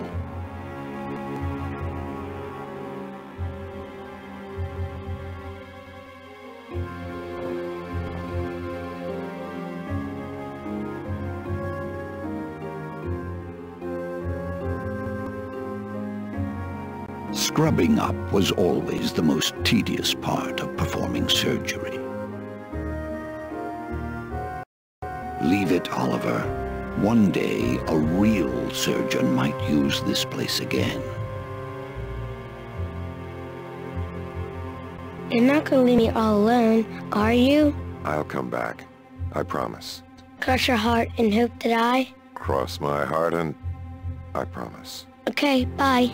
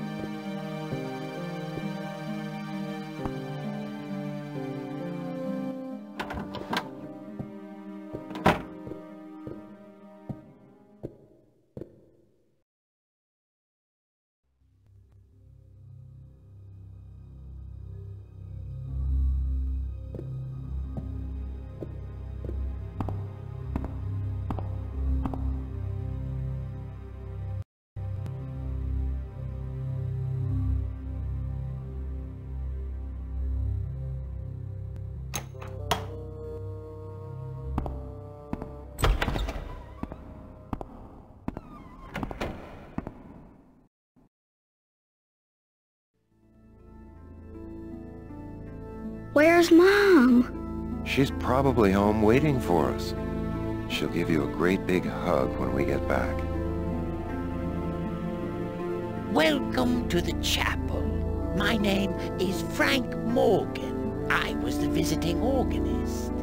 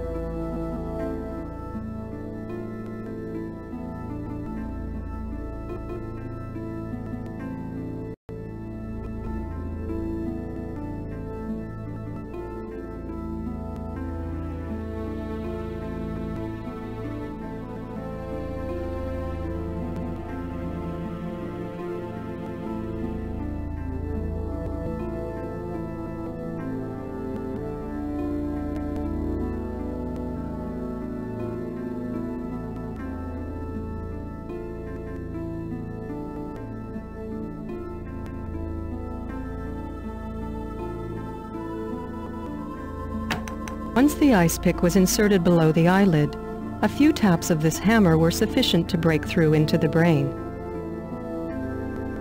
This ice pick was used by Dr. Metcalf to perform over 500 prefrontal lobotomies.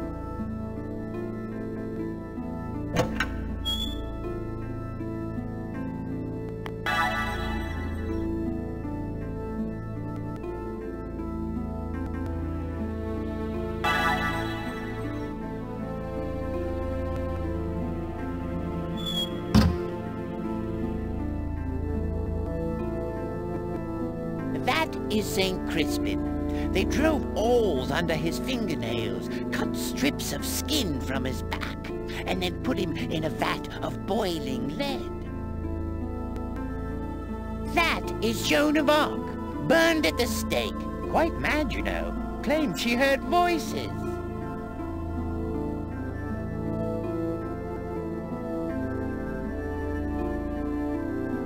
That is Saint Adrian of Nicomedia. He was a Roman soldier who was thrown in prison for his beliefs. His legs were smashed with an anvil, and they chopped off his arms with an axe. He's a patron saint of prison warders. Saint Christopher. He was thrashed with an iron rod, then a red-hot helmet was put over his head, and he was beheaded. He's the patron saint of accidents.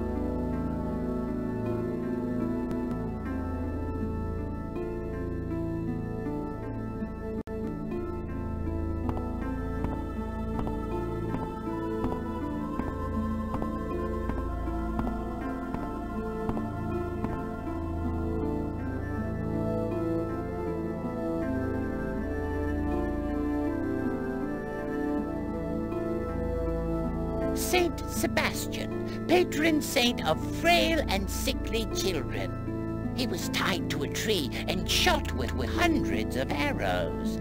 When that didn't kill him, they clubbed him to death and dumped his body into Rome's main sewer.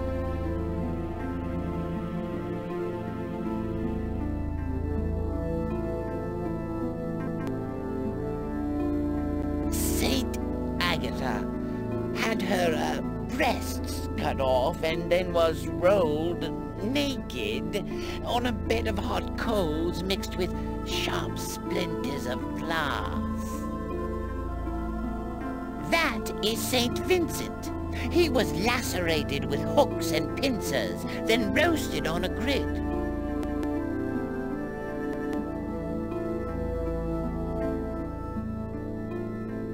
It's a splendid instrument, predating the asylum itself.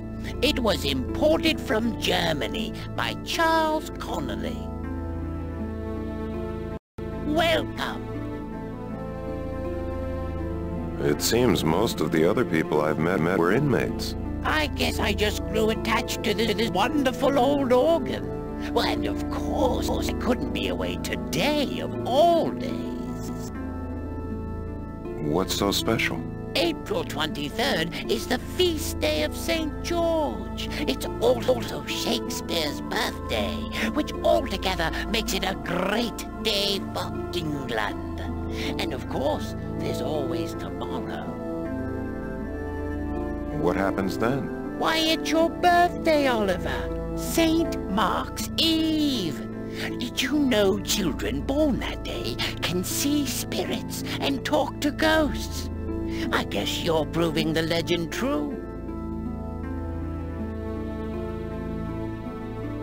I don't believe in the supernatural. If I'm lucky, this is all a dream. If I'm not, then I'm having some kind of prolonged hallucination. It always amazes me how far people will go to close their eyes on what's all around them. Very well, Oliver. Believe what you will.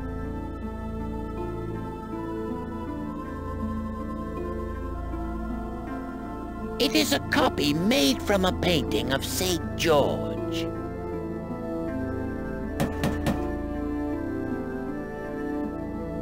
It's welded together. Hmm. It's attached.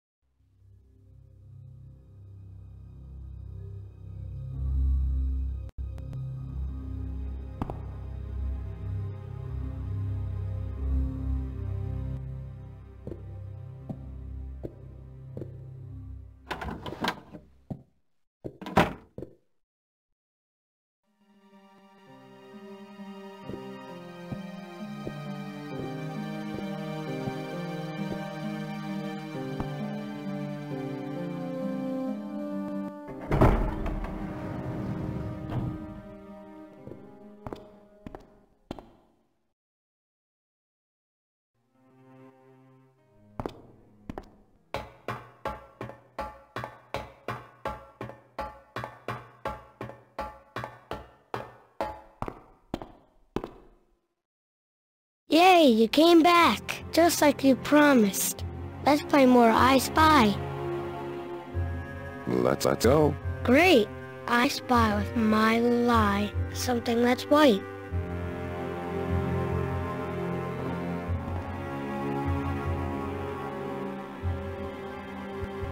Right. Let's keep playing. I spy with my little eye something that begins with tiger. I've started a tunnel, Dad. I'm gonna dig my way out. I saw them do it on Scooby-Doo. Be careful, Josh. Don't hurt yourself. Okay, Dad. Hey, Josh. I need help with a kind of a riddle. What is it? What is something that begins with tiger? You know, like in a game of I Spy. Let me see. Tigers go grrr. How about grapes or maybe ground? Thanks, Josh. You've been a big help.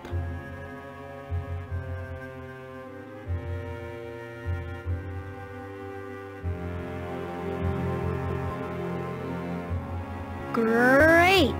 Get it? A tiger goes growl. I used to be afraid of all kinds of animals, just like the cowardly lion in The Wizard of Oz. But now I'm not afraid anymore. Do, do you? Oh yes, especially the ruby slippers. How come you're not afraid? I just pretend I'm made of metal like the Tin Man. Then if an animal bites me, it won't hurt. I think that's smart thinking. The operation still hurt though. But Dr. Metcalf isn't like an animal who's trying to hurt me. He's trying to make me better. So that's different. Is he your favorite? Nope, Scarecrow. The Tin Man has that hollow sound that's kind of scary. Like the night in the chapel.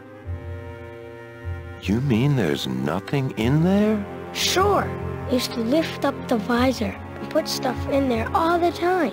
Then they told us we couldn't do that anymore. I like how his legs are all rubbery.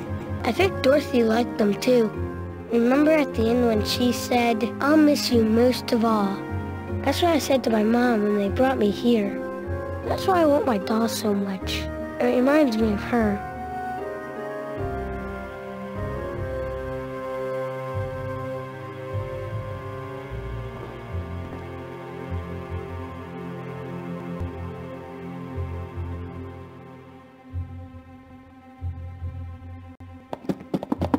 It's locked. A long time ago, I threw away the key for a joke, but Dr. Metcalf just uses one of his tools to open it.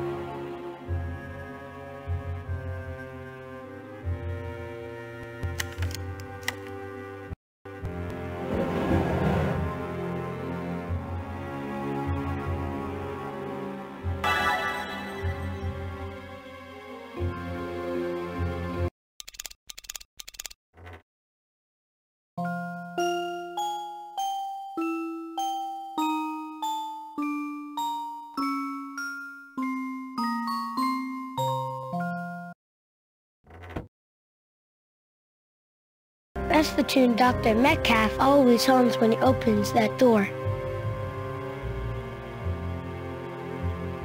We have nothing to discuss, Oliver.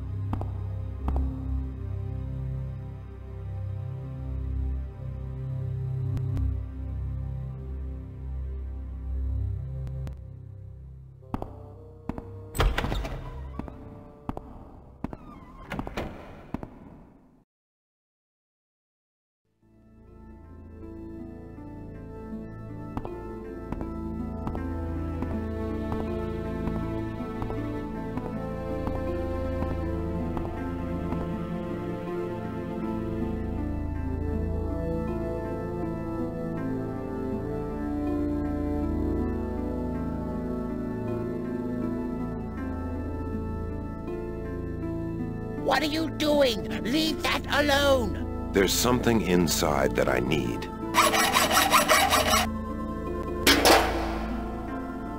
I say, your hacksaw snapped clean in two.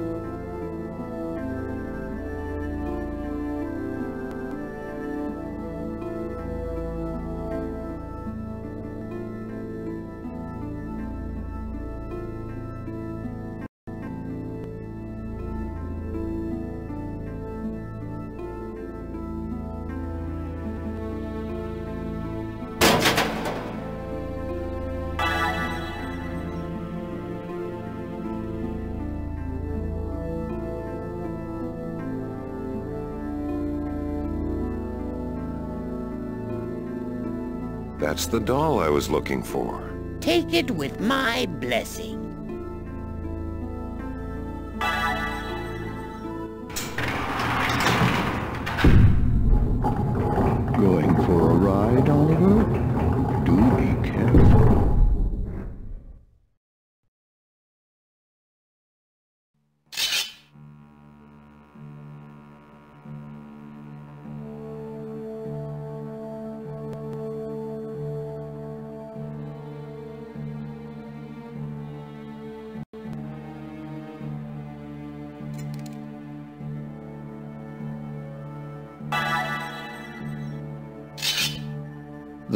Problem with these spears is, that you never know where the next one is going to come from.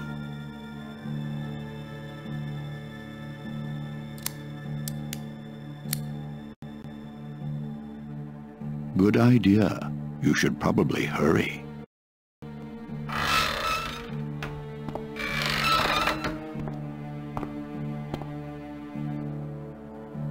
Excellent, Oliver. Well done. My final resting place, or it will be as soon as this evening's work is done. Can't lift it.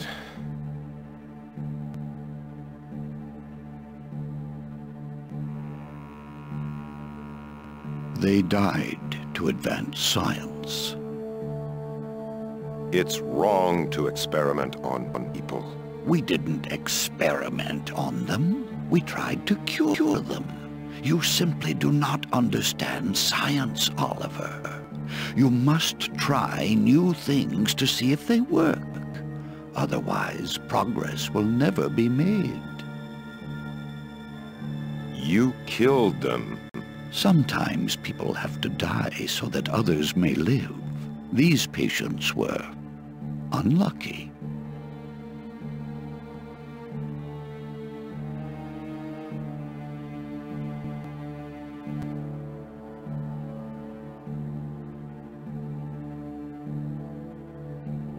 We have nothing to discuss, Oliver.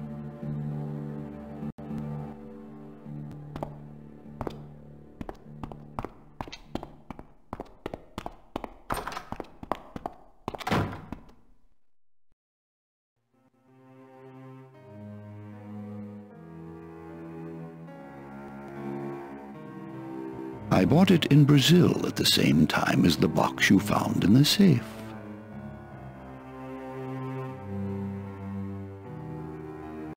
I've hidden that key especially for you, but I'll give you a clue where to find it. You always liked riddles, Oliver. Try this one.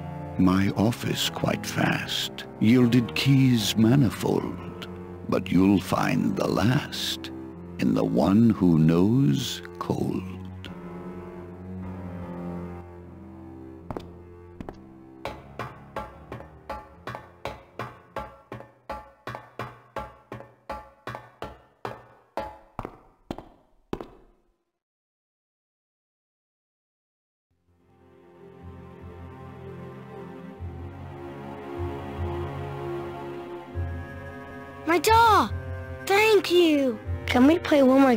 I Spy?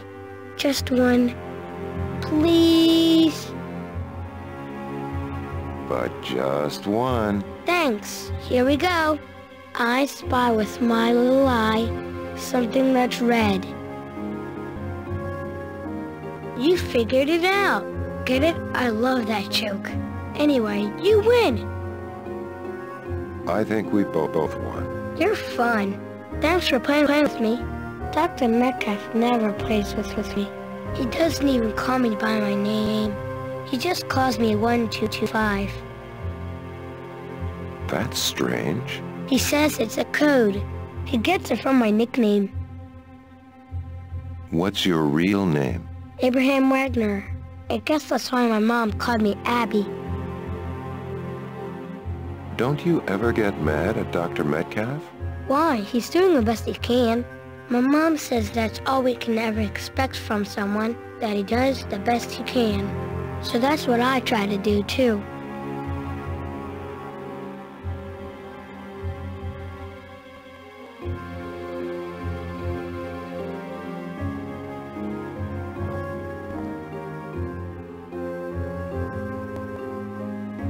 No, no, Oliver. Never guess. You don't have enough information yet to know what this combination is. Dr. Metcalf is the only one who knows how to work it. He never lets anyone else push the buttons. Don't go down there. Bad things happen there. No, no, Oliver. Never guess. You don't have enough information yet to know what this combination is. Da da da da. That's what Dr. Metcalf always hums when he opens that door.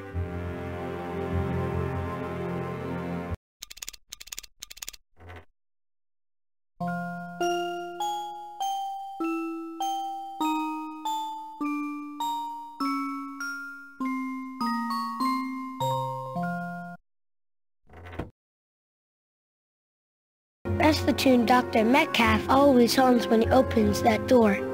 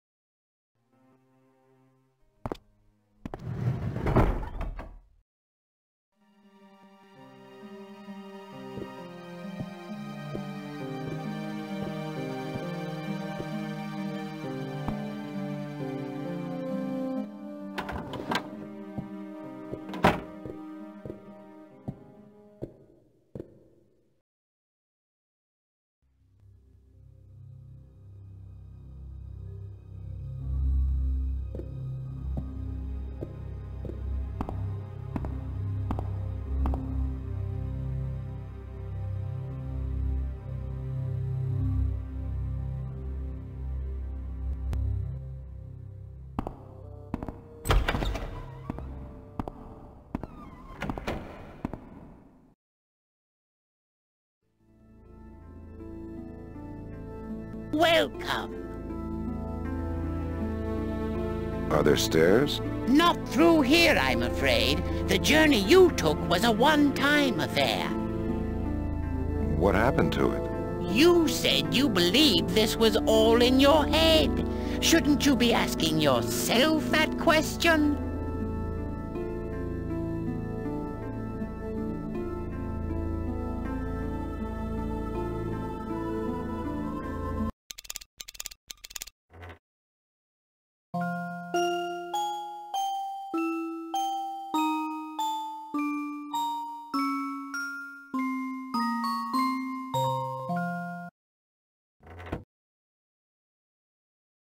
That's Bach's three-part invention in F minor. You should hear that on a pipe organ. Bach certainly knew how to write.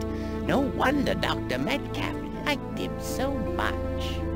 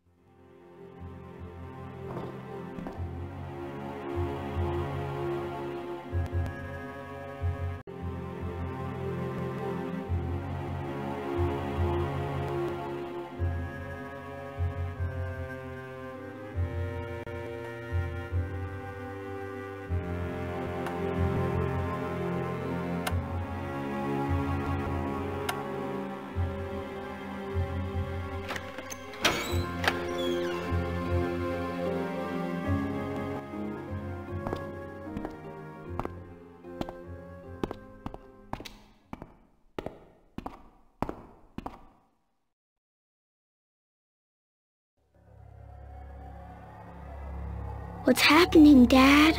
I'm not sure, Josh, but I'm trying to fix it. And make sure to give Freddy good snuggles, okay? Okay, Dad. Hello, Oliver. I've been waiting for you. I'm glad you made it this far. After everything Malcolm has told me about you, I'd have been disappointed if I didn't get a chance to meet you. Come on over and talk to me. Or take a look around first, and I'll tell you about our setup.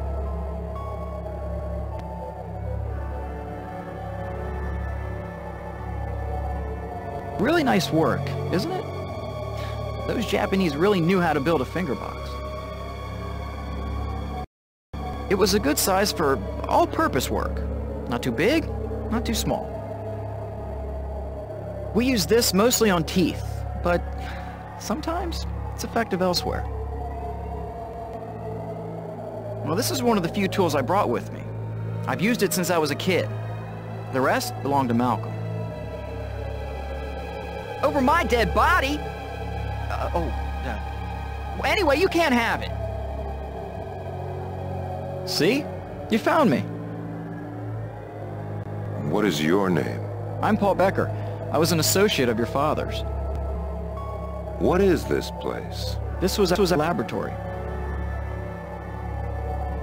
I've never seen a place like this. Oh, it's not your standard Beaker and Bunsen burner kind of setup. Nevertheless, this is where we conducted our research. What did you study? Pain. Malcolm and I made revolutionary discoveries. We learned that at the root of every accepted treatment for mental illness was pain. While others saw pain as an unfortunate byproduct of, of various therapies, only Malcolm and I saw that pain was in fact the essential element to every cure. What makes you think that? If a person is mentally ill, it's because they have lost touch with their bodies.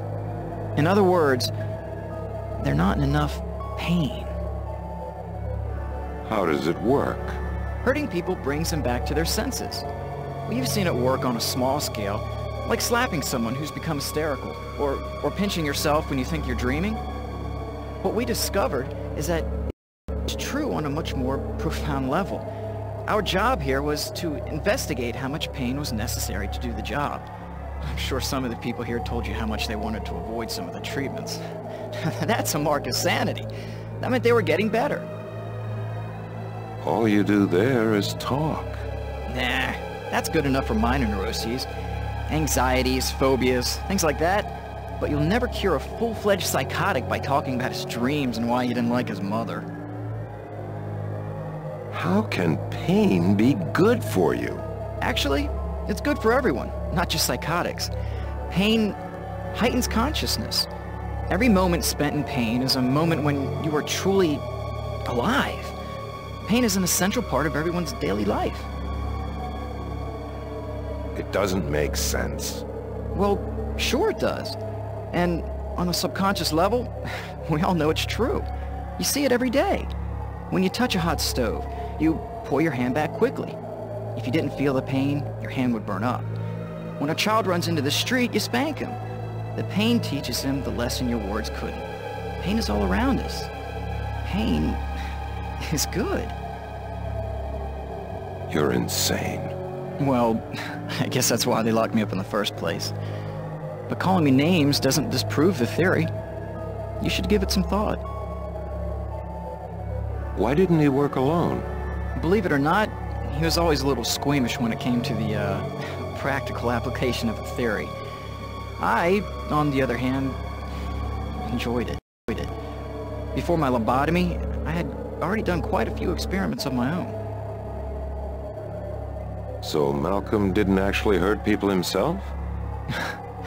Still looking to defend your old man, eh? Well, you remember that nutcracker you liked so much as a kid? Let me just say that nuts weren't the only thing Malcolm used it on. At least not the kind of nuts you're thinking of. You were locked up here? Yeah. When I was a teenager, I killed a few animals and skinned them. People got upset. They said something was wrong with me. I guess what tipped the balance is when I cut up my best friend and put him in my closet. I thought lobotomies turned people into vegetables. Oh, not at all. In fact, some studies show that IQ actually rises after lobotomy. The real thing a lobotomy does is deaden your emotions. I should be real upset about that, but somehow I'm not. I want Joshua back. As it turns out, I know just where he is and how you can get there. But I want to help enlighten you first, so you'll have to meet me halfway. Take that box over there. Tell me what's inside it, and then we can talk. What do you mean, enlighten? The box is a Japanese finger box. It's used in the Yakuza ritual of Yubitsume. If you stick your finger in the hole, you'll be able to feel the object inside and tell me what it is. The catch is that when you withdraw your finger, the tip will be chopped off. And what is Yubitsume? Yakuza is the name of the Japanese mafia. Yubitsume is a ritual during which you cut off the tip of your own finger to prove your loyalty to the gang. What do you think it will prove? It'll help teach you the value of pain. Your son will become more valuable to you because of the pain you have suffered to recover him.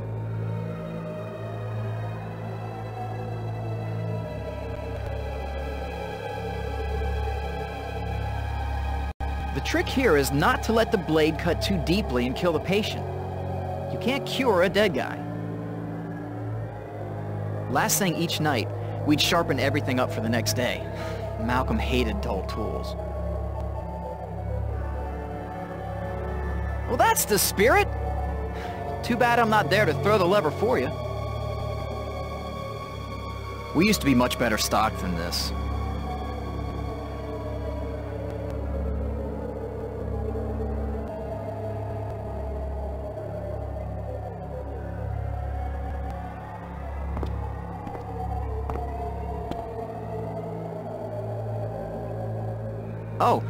We use this more to create fear than actual pain. The patient had a pretty good view of the therapies being conducted in other parts of the room.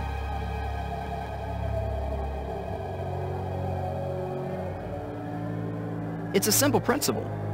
The patient is tied to the wheel. His torso is supported, but his limbs have nothing behind them. With well-aimed blows, the therapist can pinpoint which bone, or which part of a particular bone he wants to break. We almost never used it, because it caused too much damage. But it sure scared the hell out of people. Sometimes, simple is best. You can do a lot of damage with the Louisville Slugger.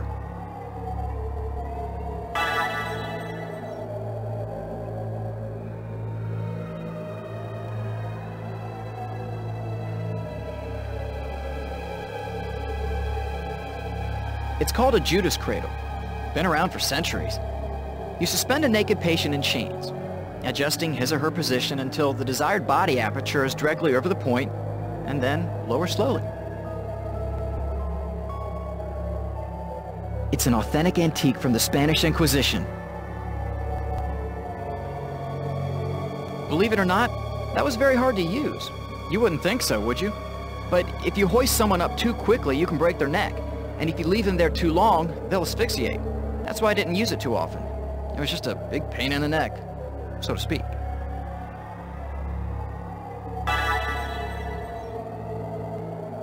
Ah, tell me what's in the finger box, and I'll tell you how to open it.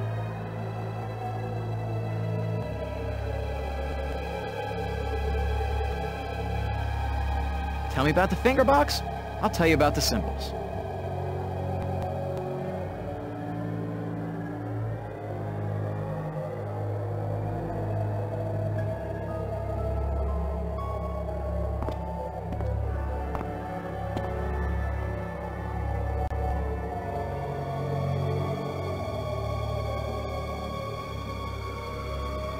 Couldn't do it, could you? I would have heard the sound. nice try, though. I'll be waiting for you. And don't go trying to fake the sound. The test here is whether you can tell me what's inside.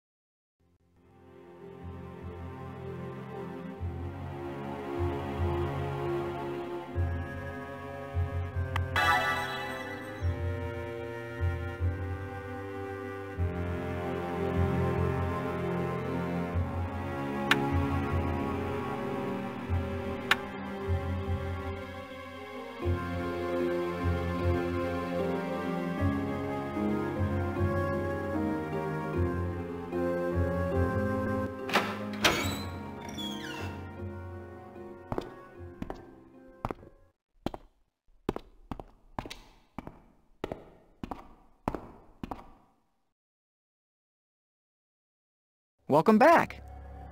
Anything to tell me? It's an Ankh. Excellent! N now, while you're still in pain and thinking clearly, let's take take last step. Malcolm has taken my stereoscope and locked it up inside the Iron Maiden. I want it back. Open the Maiden, fetch me the stereoscope, and I'll tell you how to get to the secret room. What good will it do you? We spirits are tied to this earth by our affection for a particular item. We grow uncomfortable when the item is taken from us. How can I open it? You need to push the panels on the front in a certain order. Malcolm changed the pattern frequently, so I don't know what it is right now. But I know that he kept a reminder to himself in the safe in his office.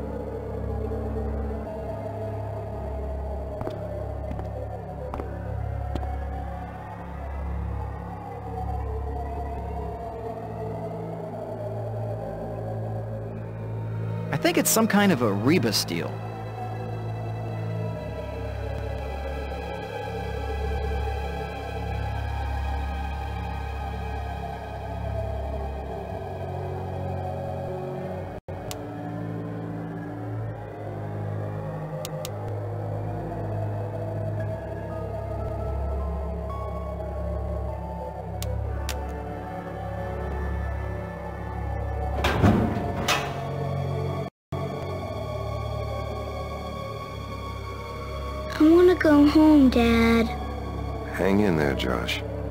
Figure this out soon.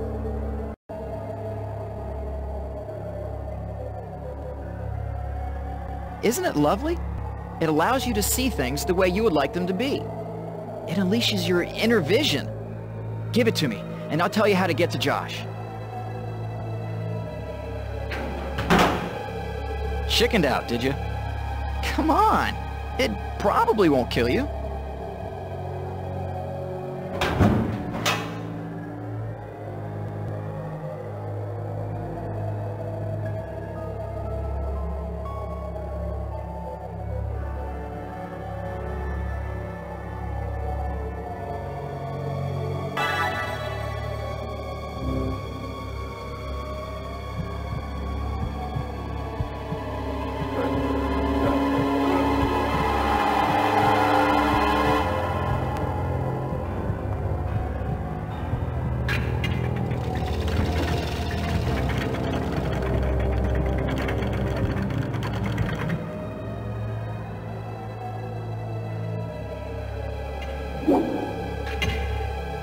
Stop str struggling.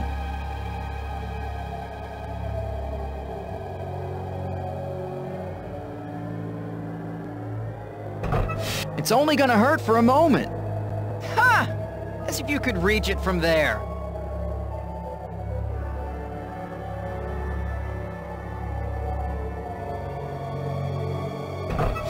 Trust must...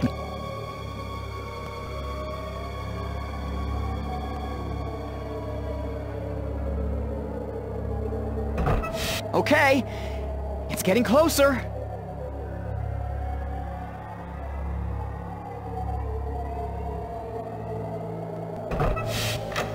Any minute now.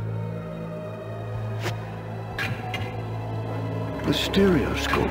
You dropped it.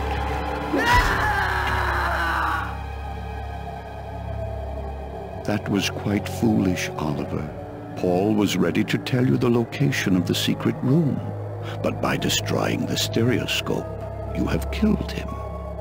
He was your last hope of finding Joshua in time.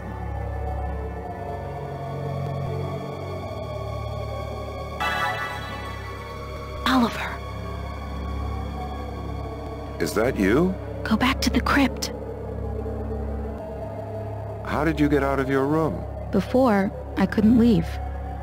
Suddenly I could. I don't know why. I can't open the closet door behind Malcolm's study. He told me a riddle, but I don't get it. He said I'll find the key in the one who knows cold. I guess I can't help much. All I know is that hydrotherapy gave me nose colds all the time, and Dr. Metcalf always called them rhinoviruses. Maybe that will help. What's in there? That's where the entrance to the secret room is. Clumsy tool at best, although Paul was partial to it. I preferred scalpels myself. I was always disappointed with its results. It made me think the whine from a dentist drill creates as much fear and pain as the drill itself. Unfortunately, I never got the chance to test that hypothesis.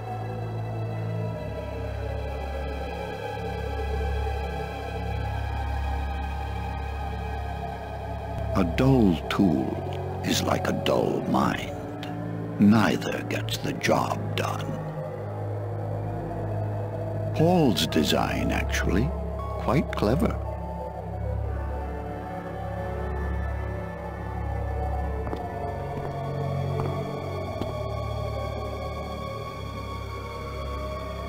Sometimes the anticipation of pain is as effective as pain itself. The cage was useful for creating that anticipation.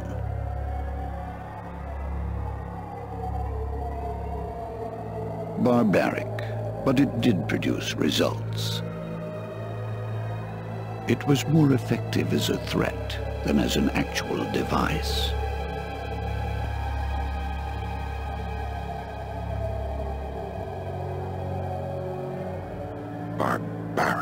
We all have to die, Oliver. Who is to say that one way is worse than any other? I found it more effective with women than men. I'm not sure why.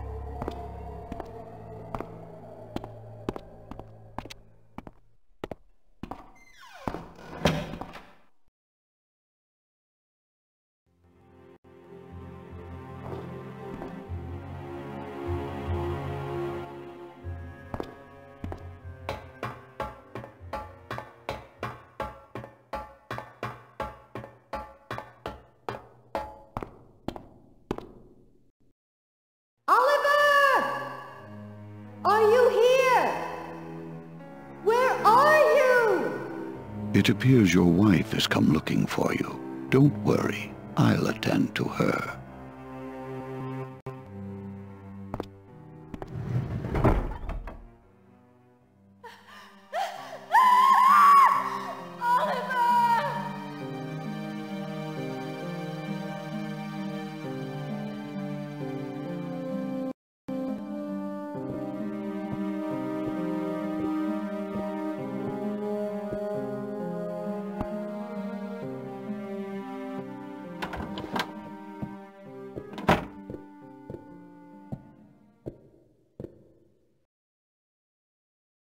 She's not here anymore, Oliver. Rebecca has joined Joshua in the secret room. They're waiting for you.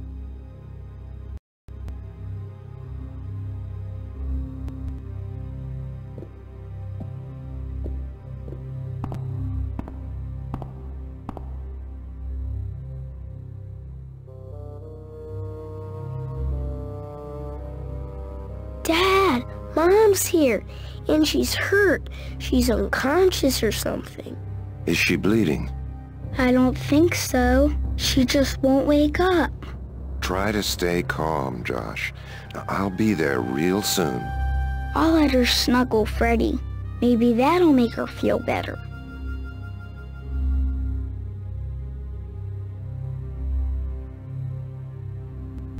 Your grandfather was quite the hunter. I never cared for blood sports myself.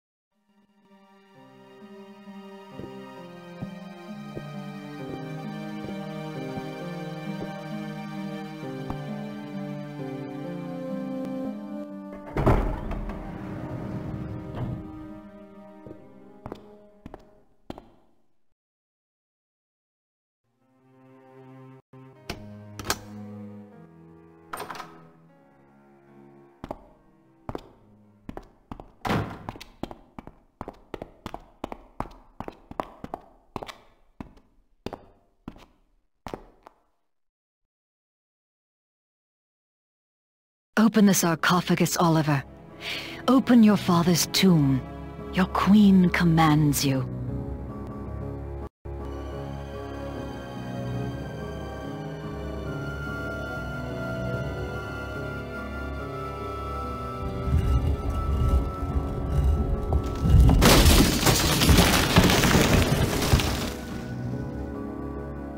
Get inside the sarcophagus, Oliver. Don't be afraid. It's the only way.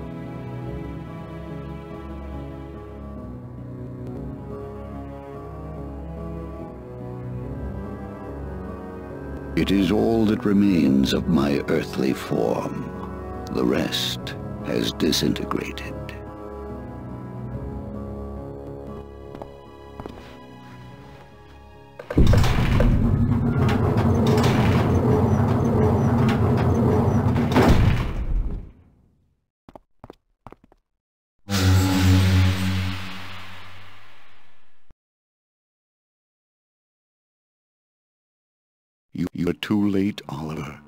Not here.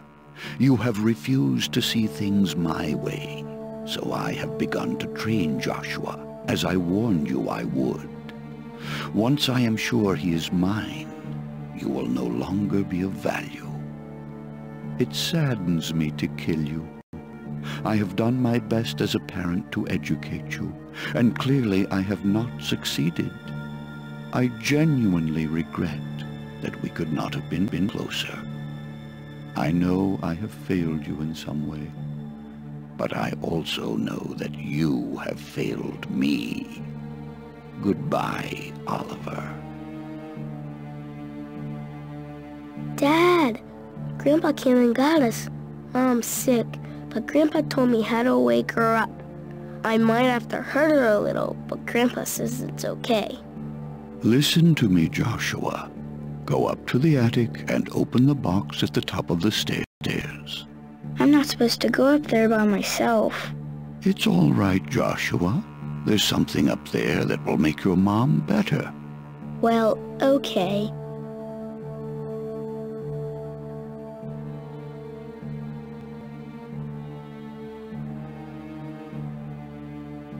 It is all that remains of my earthly form. The rest has disintegrated. After all Malcolm did to that poor boy, now this. Take it, if you think it'll help. Now's not the time for frills and lace, lad. Is this okay, Dad?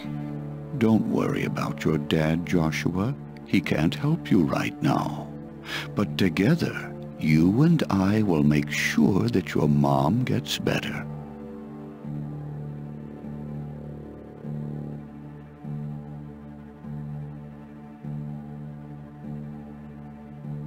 That's Elizabeth McGuire, your first victim as the Dark Figure. Don't you remember Oliver? Jules Hartwick. You incinerated Martha Ward alive. She was a nasty woman. She deserved to die. Rebecca Morrison. She should be dead by now, too. Raymond Wong. We never got to him. Take the small case and bring it downstairs. Is this the one? That's the one, Joshua. Now be careful with it. It has a very sharp razor inside. Troublemaker. Ed Becker was nothing but a troublemaker.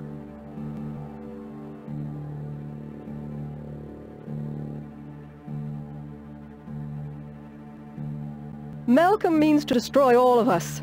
You must destroy him first.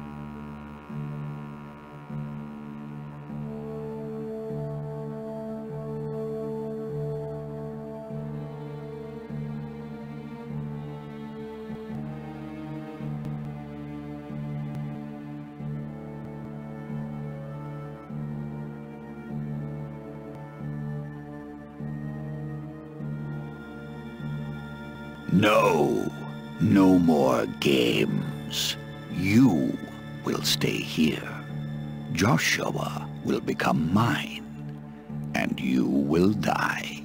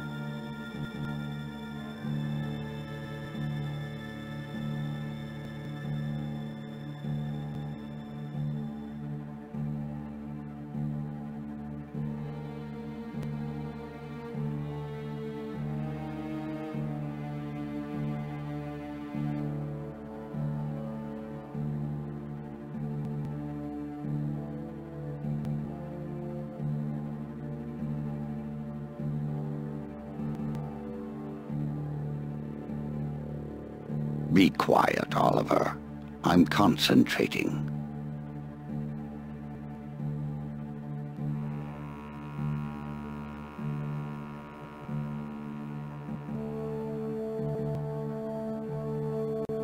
You were right to kill her. Germaine Wagner should have been dead years ago. I don't like this. I know it's hard, Joshua, but it's the only way to help your mother.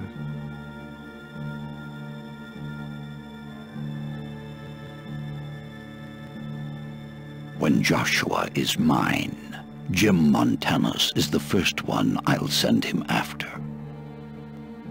That's Elizabeth McGuire, your first victim as the Dark Figure. Don't you remember Oliver? Jules Hartwick. You probably don't remember, but that's a tunnel to your house. It comes up behind a secret panel in your cellar.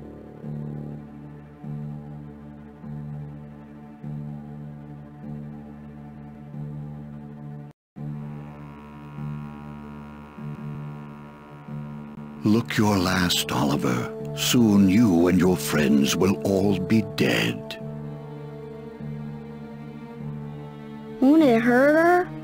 Sometimes you have to hurt people in order to help them get better.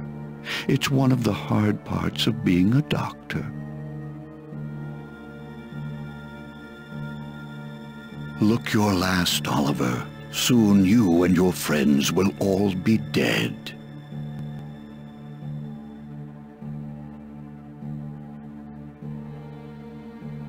You incinerated Martha Ward alive. She was a nasty woman. She deserved to die. Rebecca Morrison. She should be dead by now, too. Raymond Wong. We never got to him. Troublemaker. Ed Becker was nothing but a troublemaker. I'm scared, I'm scared. Daddy, I don't want to do this. It's the only way, Joshua. Do it on the count of three. You were right to kill her. Germaine Wagner should have been dead years ago. When Joshua is mine, Jim Montanus is the first one I'll send him after. That's Elizabeth McGuire, your first victim as the Dark Figure.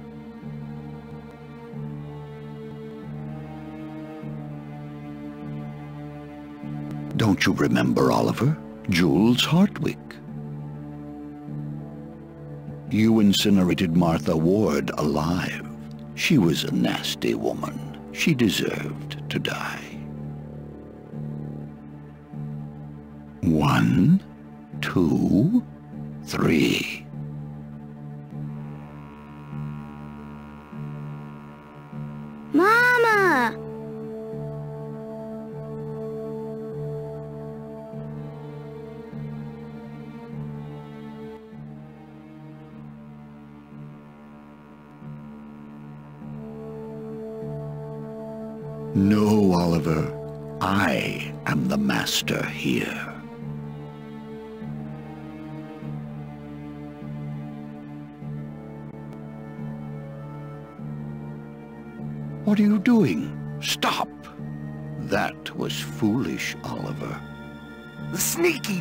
Bastard! His spirits moved to the damn journal! He doesn't seem as strong as he was before.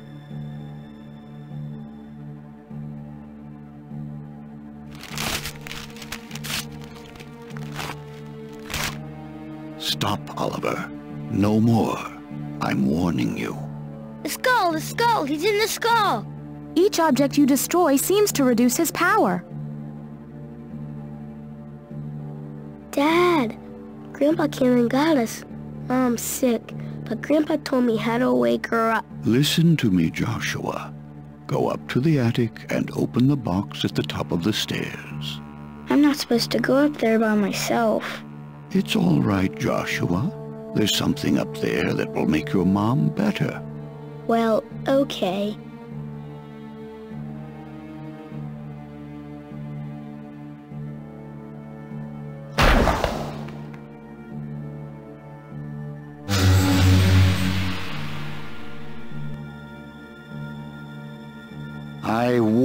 Warned you, Oliver. Is this okay, Dad?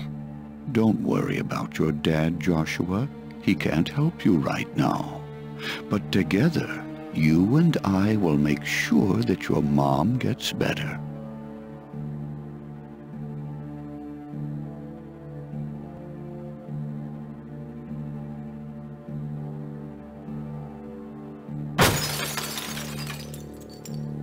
Soon Joshua will be mine. Then I will deal with you. Take the small case and bring it downstairs. Is this the one? That's the one, Joshua. Now be careful with it. It has a very sharp razor inside.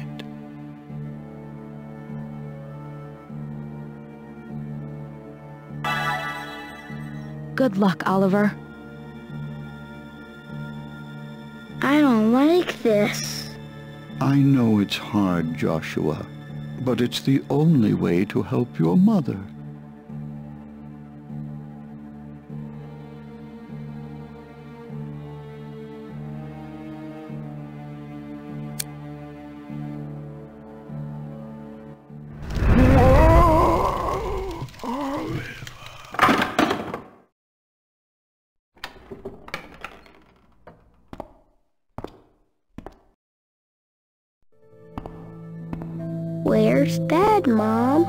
Just went out for a little while.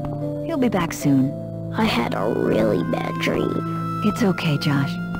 Sometimes we have bad dreams, and it's hard to tell whether they're real or not. I was scared. I know, but Mommy and Daddy love you, and everything is fine. See? Here he is now. I love you, Dad. I love you too, Josh. Don't worry. Bad guys are gone now. It's all over. No one will ever hurt you again.